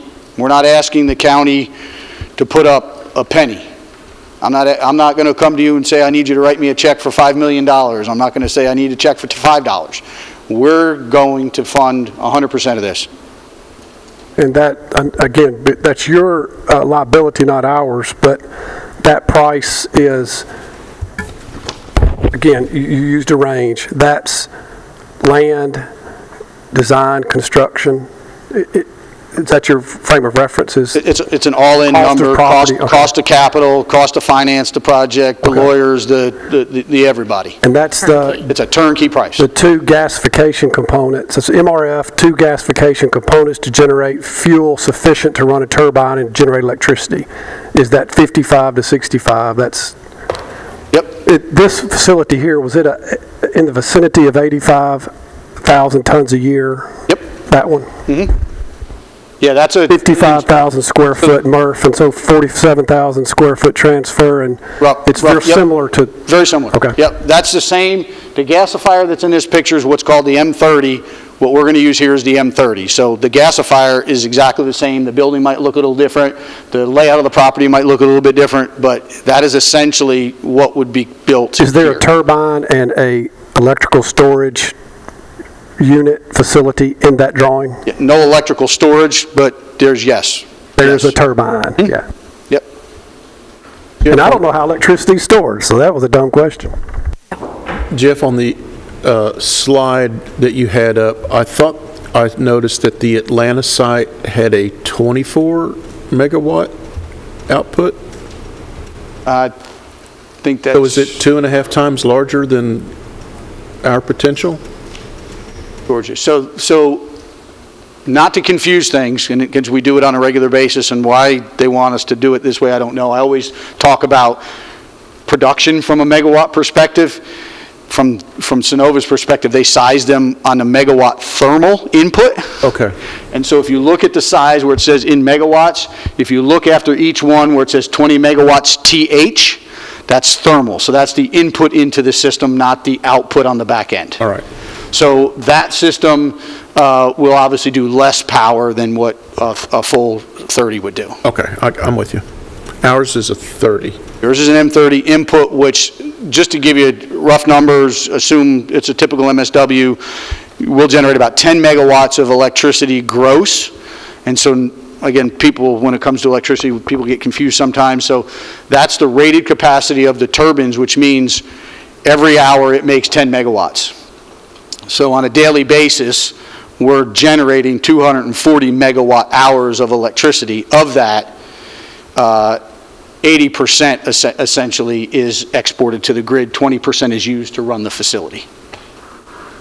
Mr. Chairman, another great question that Becky's come up with that I'm going to read, but you, you had said the answer, I think this, uh, a little while ago, back earlier, about if, if something happened, then, you know, it's your trash. We're taking it there, and whatever, something goes down in your facility, and you're down, so it's like, how realistic, how reliable is the backup plan for providing proposed services for an extended period of time. You have something, heaven forbid, a, a, a tornado comes through and knocks over two or three things here, uh, our trash is still coming, probably more since the tornado came through.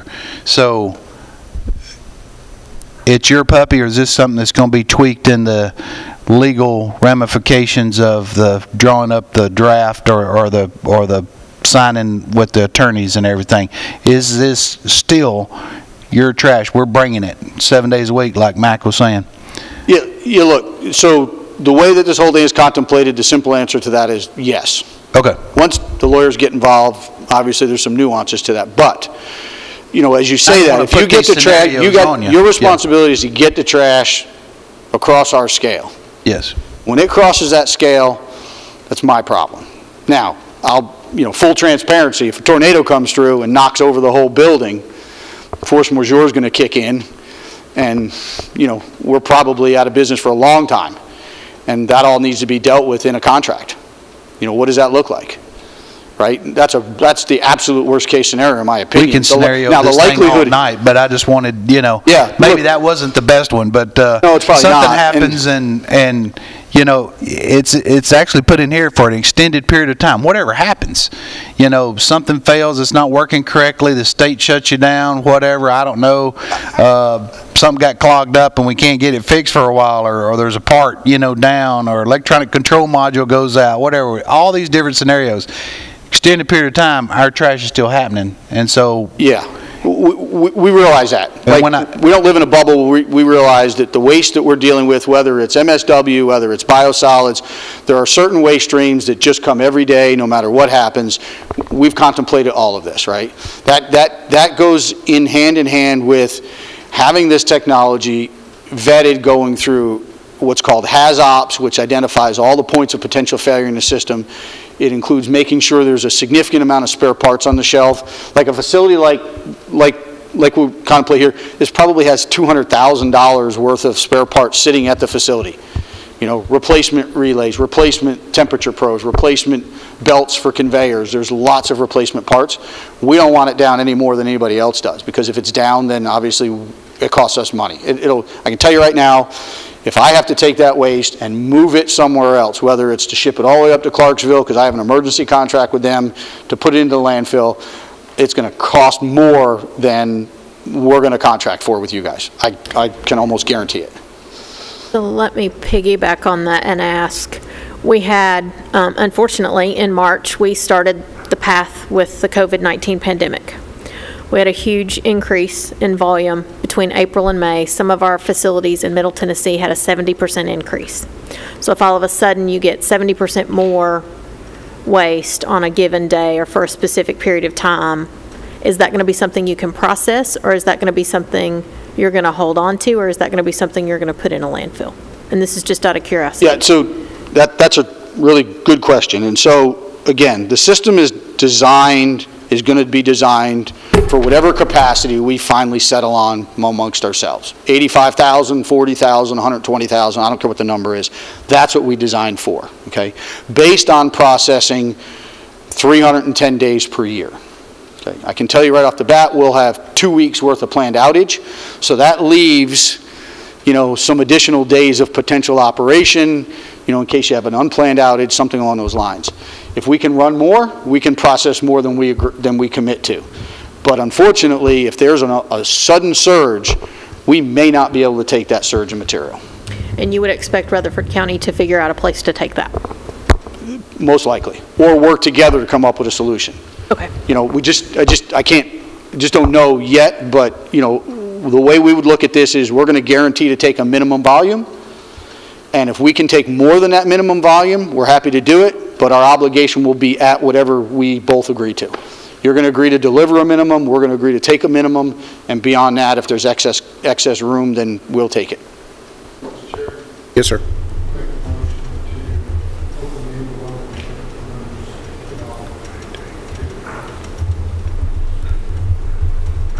One second.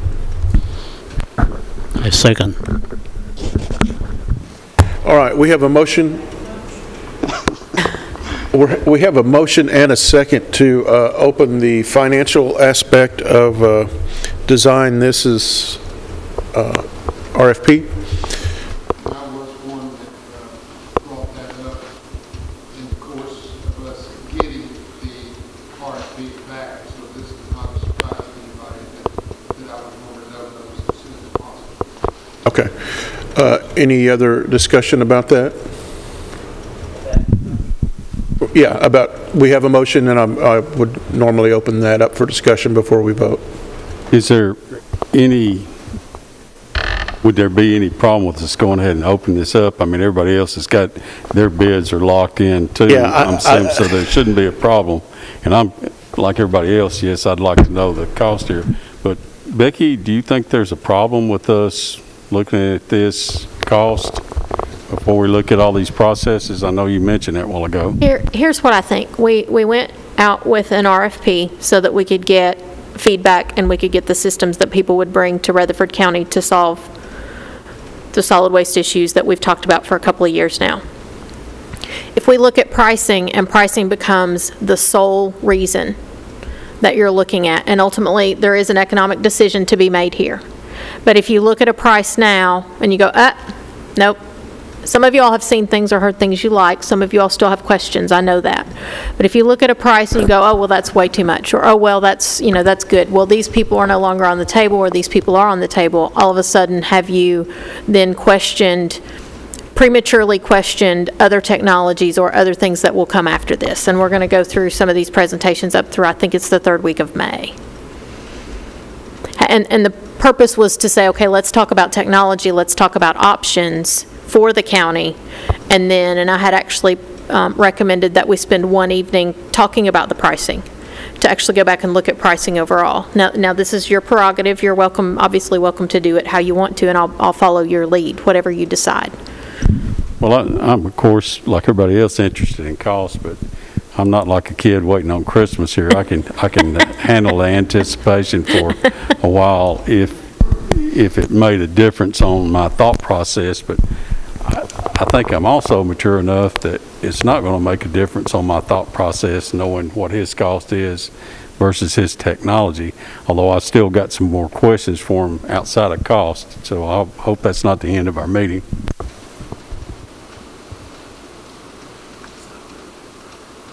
Any, uh, any questions? I, I ha- I have a question or a thought. Um, Rachel brought up a good point. Chairman P said that he thinks he's mature enough not to let it interfere. I, I am concerned about a financial bias that may, that may be implanted in my brain or any of your brains, that you see a price and it may have a imprinted thought on how you view the rest of the RFPs. Now, I may see this price, and I still may not know what it means, and we'll have to have several discussions to break down what the price really means. Highly probable. But I, I just want you to know, personally, I'm a little bit concerned about letting price dictate our information gathering at this point. I- I'm afraid I, I might see something and my, I might skew it internally because of a, a price that I think is flashy. And I don't know that that's fair. That's just my thought. Uh, I, I, I want technology and engineering to be my opinion till the last minute, and then we decide on what we can afford. But that's just my thought. I just wanted to get that out there. So we have a, Becky, do you have any other thing to say? I, I just was going to say, we've, we've talked about decisions made in the past. Um, Those decisions were made with the very best of the ability of the elected officials then, based on the information they had.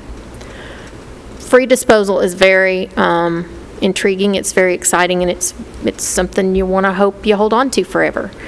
But there's a balance here somewhere. I, I think, um, I'm not sure you'll find free disposal. I don't, I, I don't see that in anything we have. Um, I I just think you have to take all of the information you have and make some decisions based on what you have now, and then look at price. And, but again, it's, it's your decision if you prefer that we wait. I mean, if you prefer that we go ahead and open them instead of wait, I'm good with that. I, I don't have them with me tonight. I'll defer to maybe someone in the mayor's office. They've, they've got the originals, if we need to go and get those tonight. Um, Okay. I have a question. Yeah. Do we intend to bring this gentleman back for another presentation? Or is this it? Uh, Steve, my, my thought on that is if, if any RFP candidate kind of makes the, let's say, the final four, then if it's Jeff, he and whoever else is in our top hierarchy would, yes, come back and not only present to us, but to present to full commission perhaps, all the other city mayor, yeah, city mayor stakeholders, whoever wants to listen, would be my thought. Not saying it's, that's the right decision, but that's my thought.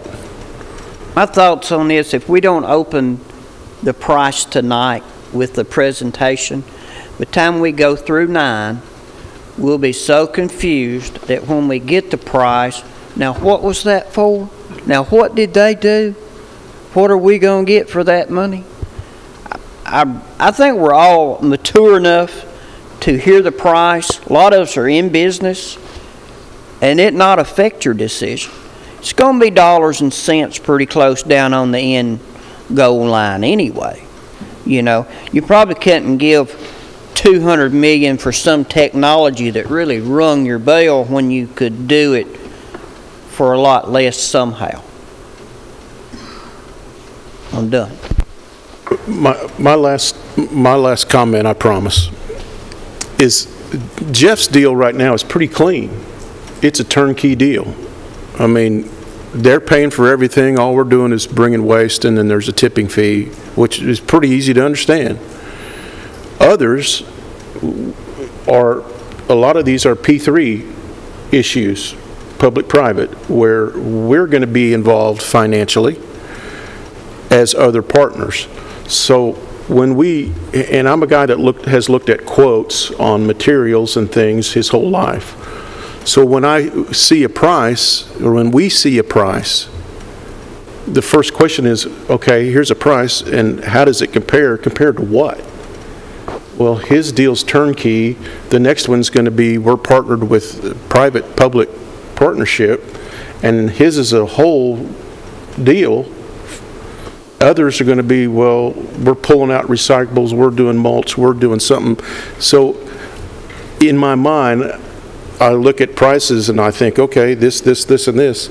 How do I compare them right now without hearing the rest of the technologies? I, I, I just think I'm going to have a hard time understanding how the prices all gel in a comparable fashion, but that's just me. I'm, I'm a little slow. So we have a motion. Um, You've heard, and we have a second. We've heard opinions. Uh, Becky, if you'll do a roll call. I'm I sorry, mean, uh, the- I'm the- sorry. Rachel, the- Wayne, I'm Dwayne sorry. had I a cut- comment, yeah. I cut you off.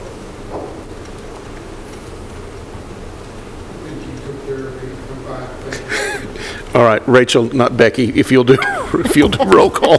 That's all We usually sit opposite. Yeah. I'm sorry, you- you're getting ready to call the roll on the motion. Yes. And, You can either vote yes to, or no, yeah, yeah, correct. or vote no to not. Uh, Craig, do you have any opinions on opening these tonight in this discussion? Is it, is it critical? Well, here's the thing. He's got a Mercedes. I like it. Can I afford it? I mean, I think, I have no problem with listening to this gentleman. I have no problem not seeing the bids. But, I mean, we have to eventually see it. I mean, if we're going to, you know, take something very serious, we need to know how much it's going to cost. If we're going to take this serious, then we have to see what it's going to cost us.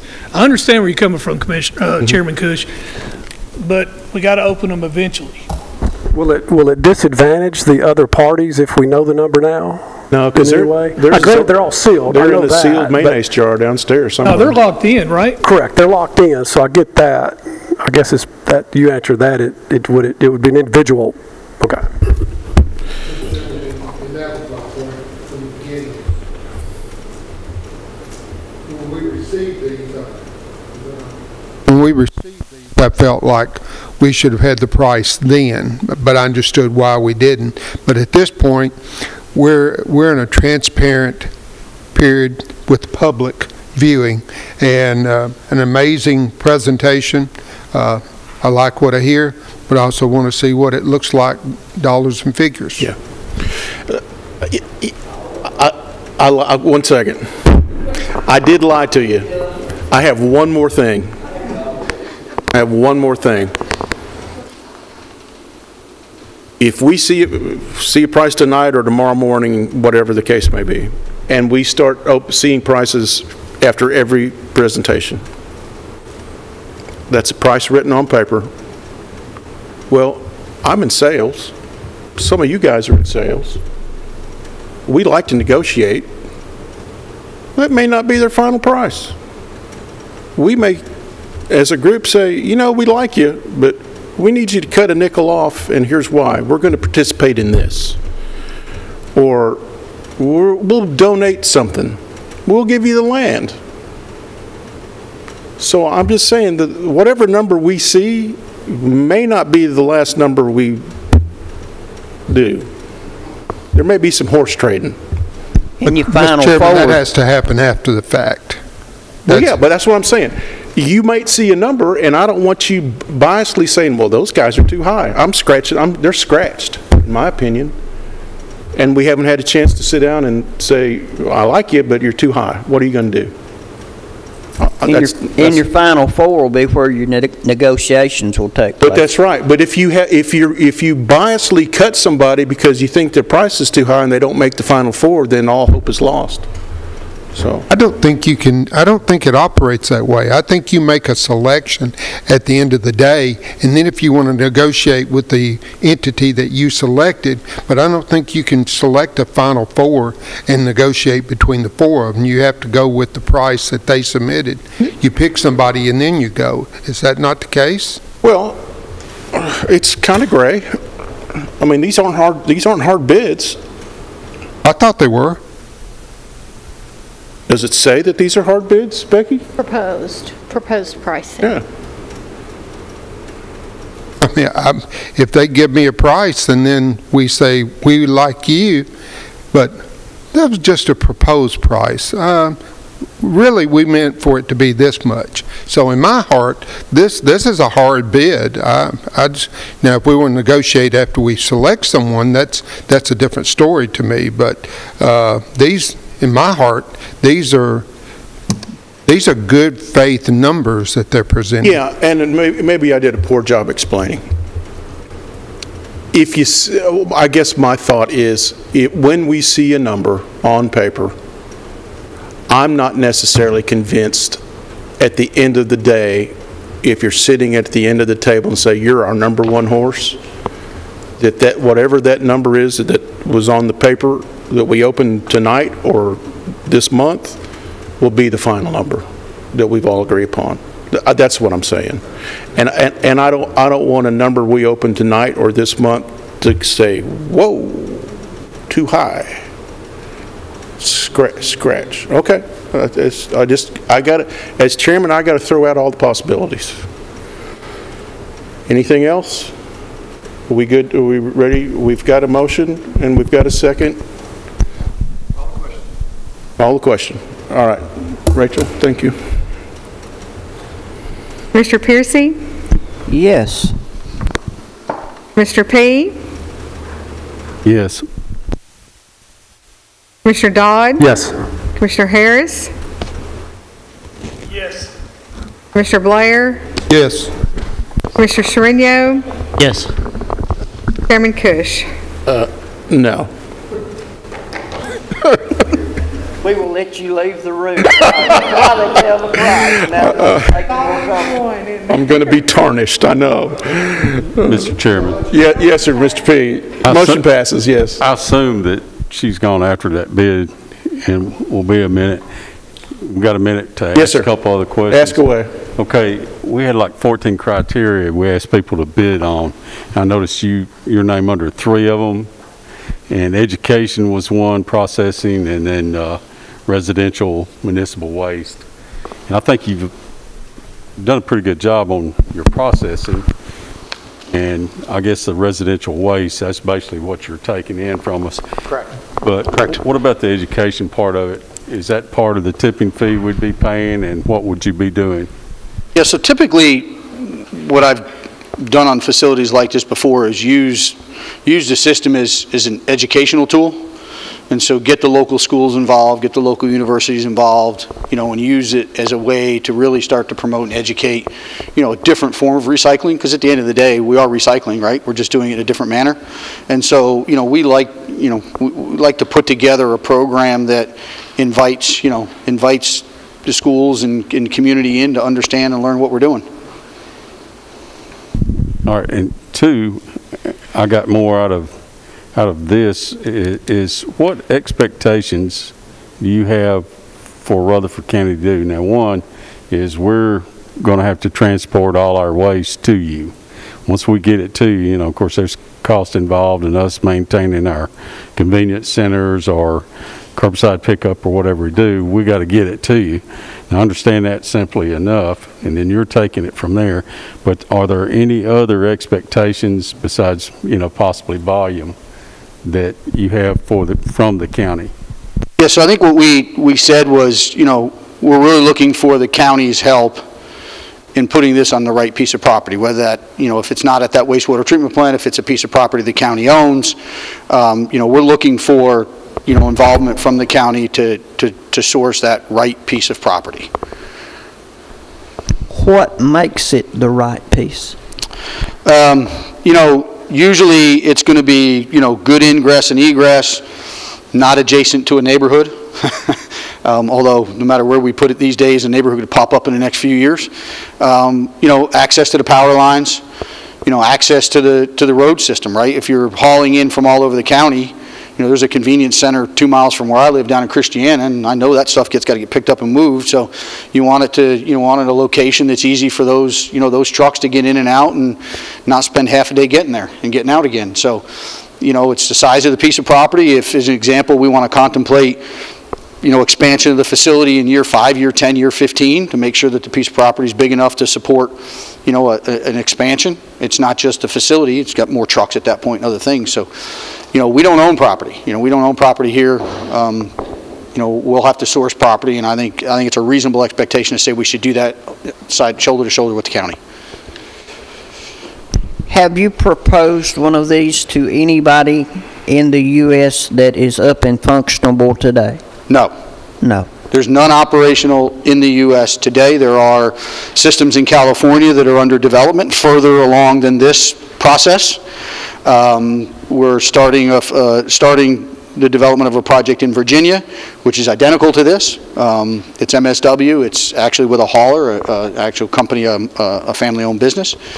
Um, The Georgia facility is, is the one that's in construction. Can you draw a picture?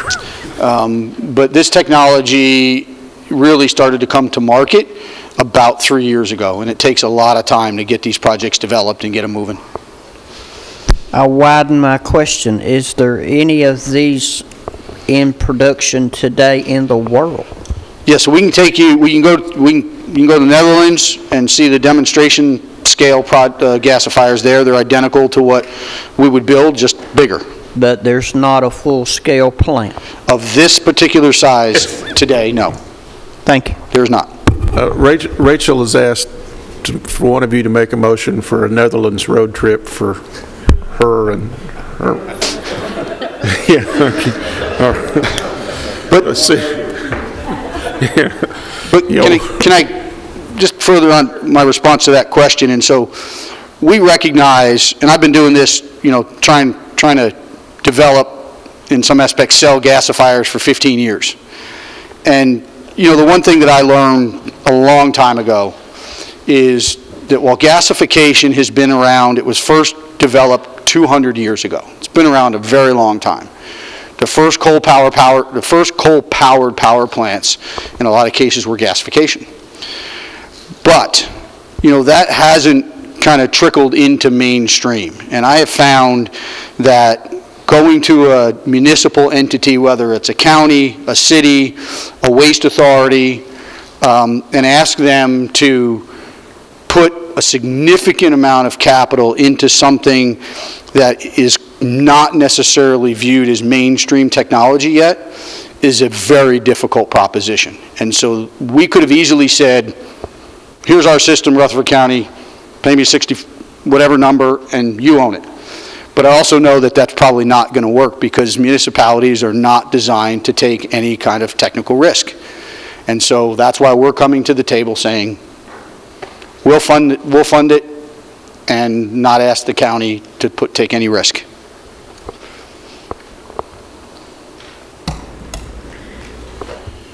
Okay, Jeff, uh, no surprise, I I probably need a little explanation. I'm on- sorry, Chairman. Does Jeff need to take a break? He's been on his feet for two and a half hours. You You need- need, you a- need you to need a cup of water or I'm a bottle of water? I got, I got water right there, I can grab it real quick. All Go right, so ahead. you, you have a cop, you do have a copy of this? All right. Will you, will you explain what this electricity tariff means?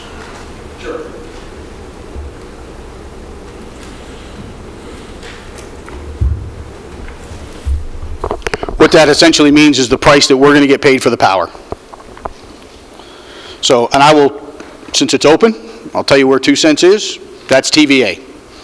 TVA has a program that any of these systems that are under 80 megawatts, you can export it all to TVA, and they will happily pay you 2 cents a kilowatt for the power. And so that's where that number is driven from. So you can see the sensitivity of the tip fee based on power. So Pricing. in what, in what scenario does that tariff bump up to 6 cents? Or So that 7 would be what we would consider a behind-the-meter application. So we're offsetting somebody's retail power price, So uh, behind the fence kind of a thing? behind the fence. So, you know, I don't know, I, I think all of us are probably paying about the same price for power at home, so, you know, about 9.9 cents, call it 10 cents. And so we're basically saying, we're going to, we're going to sell this power to a wastewater treatment plant that's paying 10 cents, and we'll sell it to them for 6 cents, so they save a little bit of money, and then that drives the tip fee, the tip fee down. So we're under the retail price, which is why co-location with a user behind the fence, if you will, or behind the meter, however you want to phrase it, is, uh, in the selection of a piece of property is pretty key. And this is not something that's unique to here in Rutherford County. Pricing is a little different, but um, it's the same conversation everywhere I go, except California, because they're willing to just pay ridiculous amounts for power, and, um, and they have, and they're forced to do it, so, but we're not there. So we stopped at option three. I could have kept going, um, but now we're bumping up against retail price of power, and, you know, I don't see anybody paying retail price or more than retail price. But that's the sensitivity around, around the pricing. We pay this disposal fee, then we pay the electricity tariff. The county does not, only if the county is the purchaser of the power. So if we wanted to, to use this technology to power one of our schools, we'd have to buy the power from you? Yes. And, and Craig, if you and I recall, we, TVA visited with us. Right. for- uh, Two, three years ago. And so I think we have to look at this. That power's not selling. That power's not, selling the power's not going to be, not going to grant us a discount. Or, I think we have to go into it with that thought. We're- we have the luxury of living in a TVA community. And so we're going to spend the upper numbers here just is, is my frame of reference. It- I think that's where you have to start your mental process. I- You know, unless the, unless the Chamber of Commerce can convince a, a Amazon or somebody like that coming in to sign up with us for the power and you build this facility, or at least transmit the power to them, at, at, well, and, well, let me, let me scratch that, because they would probably have a deal with TVA that'd be cheaper than what we would sell it to them for anyway. Yeah, that, we, that was really pounded into us when we met with them. They were very candid. I, I appreciated it. Yeah. Uh, who, uh, the, the ki- eight kilowatts is your production uh, potential. Does that, does that, am I? So with this 85,000 to generate the power, who, what would, what does the power plant use per year? Or how much do they use versus how much would an 85,000 ton gasification Yeah, so produce? General numbers, the plant will gross generate 10 megawatts, so 10,000 KW. For what, over what period of time? I'm sorry, dumb it down. So- Per day or per year? What, So, so when we talk about production, it's on the hour. Okay, so this will be a 10 megawatt, 10,000 kilowatt rated system, so that means every hour it produces that as a gross number. When we subtract out the parasitic load for the plant, so to run all the pumps and motors and computers and everything else, we end up with about eight to export. Floats around in there, but it'll average out somewhere around eight depending on how that how the, how, per hour. So you take that eight, or that 8,000, multiply it by 24, that's your daily production that you would deliver to the grid, multiply that by 310 days a year, that gives you your annual number.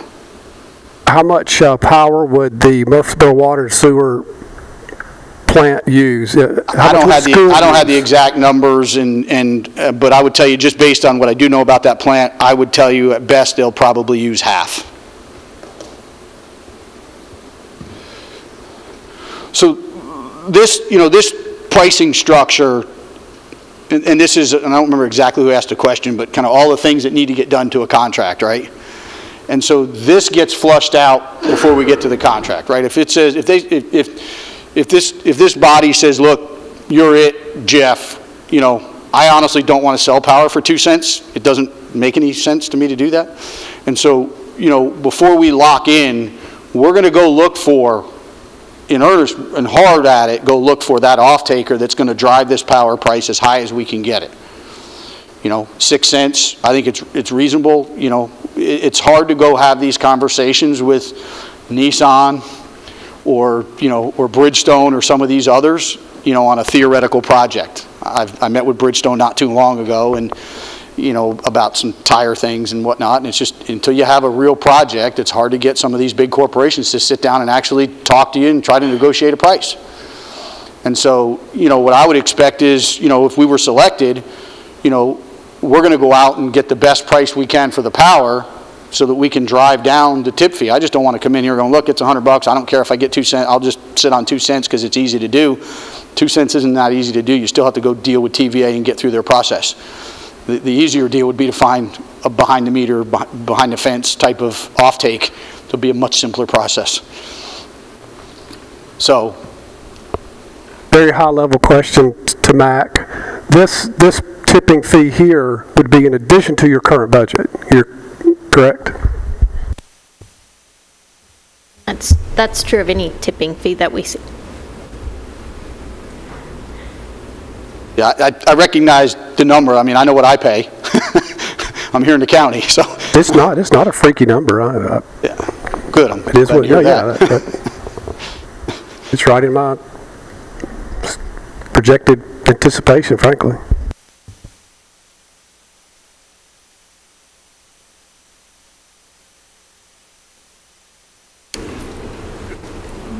You're good? Anybody else? Can I ask a question? Jeff, you may. So now that these are open, has this become public information? The other bidders' numbers aren't public yet? Uh, I guess that would be the truth, other than the fact that the other bidders' numbers are still sealed and will be opened one at a time, starting again tomorrow and at our next several meetings. But these numbers are now on the street. Well, I, I, I would, we, we have an attorney here, Uh, it it may be, he may be, he, it may not be appropriate, depending on who he's representing, but I'm curious, these, these things are public now, y'all, is my opinion. yeah, I, I- It's a public hearing with the work, so you can assume, Jeff, they're public. you might should have asked that previously, if, if that was a, a concern I of was yours. just, I figured as much. I just wanted to make sure we were. Yeah, we were- we and, were clear. and maybe to, uh, e- let's, we'll chat about that in a little minute. And I've thus far not shared numbers for that very, to be cautious, I hadn't Yeah. articulated the number. I, I will say, though, to, there, there is a escape clause a little bit for Jeff and for all those other RFP listeners. The last line of this says, "This cost proposal is valid for three months after date of submission and subject to change." So, if, if anybody's taking notes at home, like a competitor, uh, this, this number may not do you any good in a few weeks, so. All right, gentlemen, last chance for a while to talk to Jeff. Jeff, this has been very interesting. I, I learned a lot of things tonight, uh, and I appreciate uh, all that you've done and uh, all the questions that you were able to answer. You were very thorough, and uh, I really appreciate the fact that you're a a local uh, resident. Um, And uh, I I wish you luck on, on this and other projects that you have in the U.S. and the world. Um, All this fascinates me, and I'm a huge fan of taking waste and making something usable out of it, like energy. Um, So I applaud you for that. So if there's nothing else, uh, Jeff, you are dismissed, uh, and we will, we will keep your number. How about that? do do that, and like I said, you know, last comment for me, I guess, is that, you know, if we don't, if our group doesn't make the top four, um, I'm a resource. Yeah. I'm Yeah. here. I have a vested interest in the county, and so, you know, um, I'm, I'm here. Use- We- yeah, we- Use me if you, you use me if you can. If it doesn't create conflicts, I'm here. I do this around the world, and, um, That's great. you know, so feel free to reach Well, out. we, we may lean on your knowledge, for sure. Thank you for that uh, opportunity. All right, committee, uh, anything else that you'd like to chat about? Becky, you want to give us a highlight of what's going on tomorrow? I've I've got a question for you all. So, so Jeff brought a presentation, um, if for no other reason than the technology piece, and now you understand why I wasn't the person to explain it. Um, There are two proposals tomorrow night. One is Rockwood Sustainable Solutions out of Lebanon, Tennessee. The other is WastAway, which is a facility most of you all have seen. Um, They're down in Warren County. So uh, do you all prefer a PowerPoint presentation that I present? Do you all prefer just the narrative and I go over the high points and then the question and answer session starts? And this may, you know, Chairman, tell me if this is inappropriate, but I want to make sure that we get them the information they want or that they need in the, in the way they want it. They being the committee. The committee, yes, sir. Um, you know, you- tonight's setup, you had a three-slide that looked like highly technical, which I don't know that it, to me, it really didn't do much good because Jeff went over it uh, anyway. I, I think if you just gave a one-minute summary of, of an overview of what their column of processes or education or transportation, what, what they are proposing, uh, an an introduction of the personnel that will be here tomorrow night. Uh, And I think we just let them go right Okay. to, to the and if, I'm assuming they will have a presentation that they will bring. We haven't, we haven't told them to, but I'm glad to reach out to them. Um, Most of them have something they've shown other places. Okay, so. Eh, they're certainly welcome to do that. Let If they know. just want to stand up and do a Q and A, that's fine too. But uh, we've all read their proposal, and uh, we'll be, we'll be ready to go. And the narratives should be, Rachel should have sent the narratives for tomorrow night as well. Did you do this one for, the- design this? Did you send the narratives? Yeah. Okay. You did this one, this is the design this narrative? You did that, and you have one prepared for every, I do. that's all I need. Okay. Okay. Everybody good? See you tomorrow night, 5:30? Appreciate your attendance. Good to see you, Robert. Thank you, Mayor.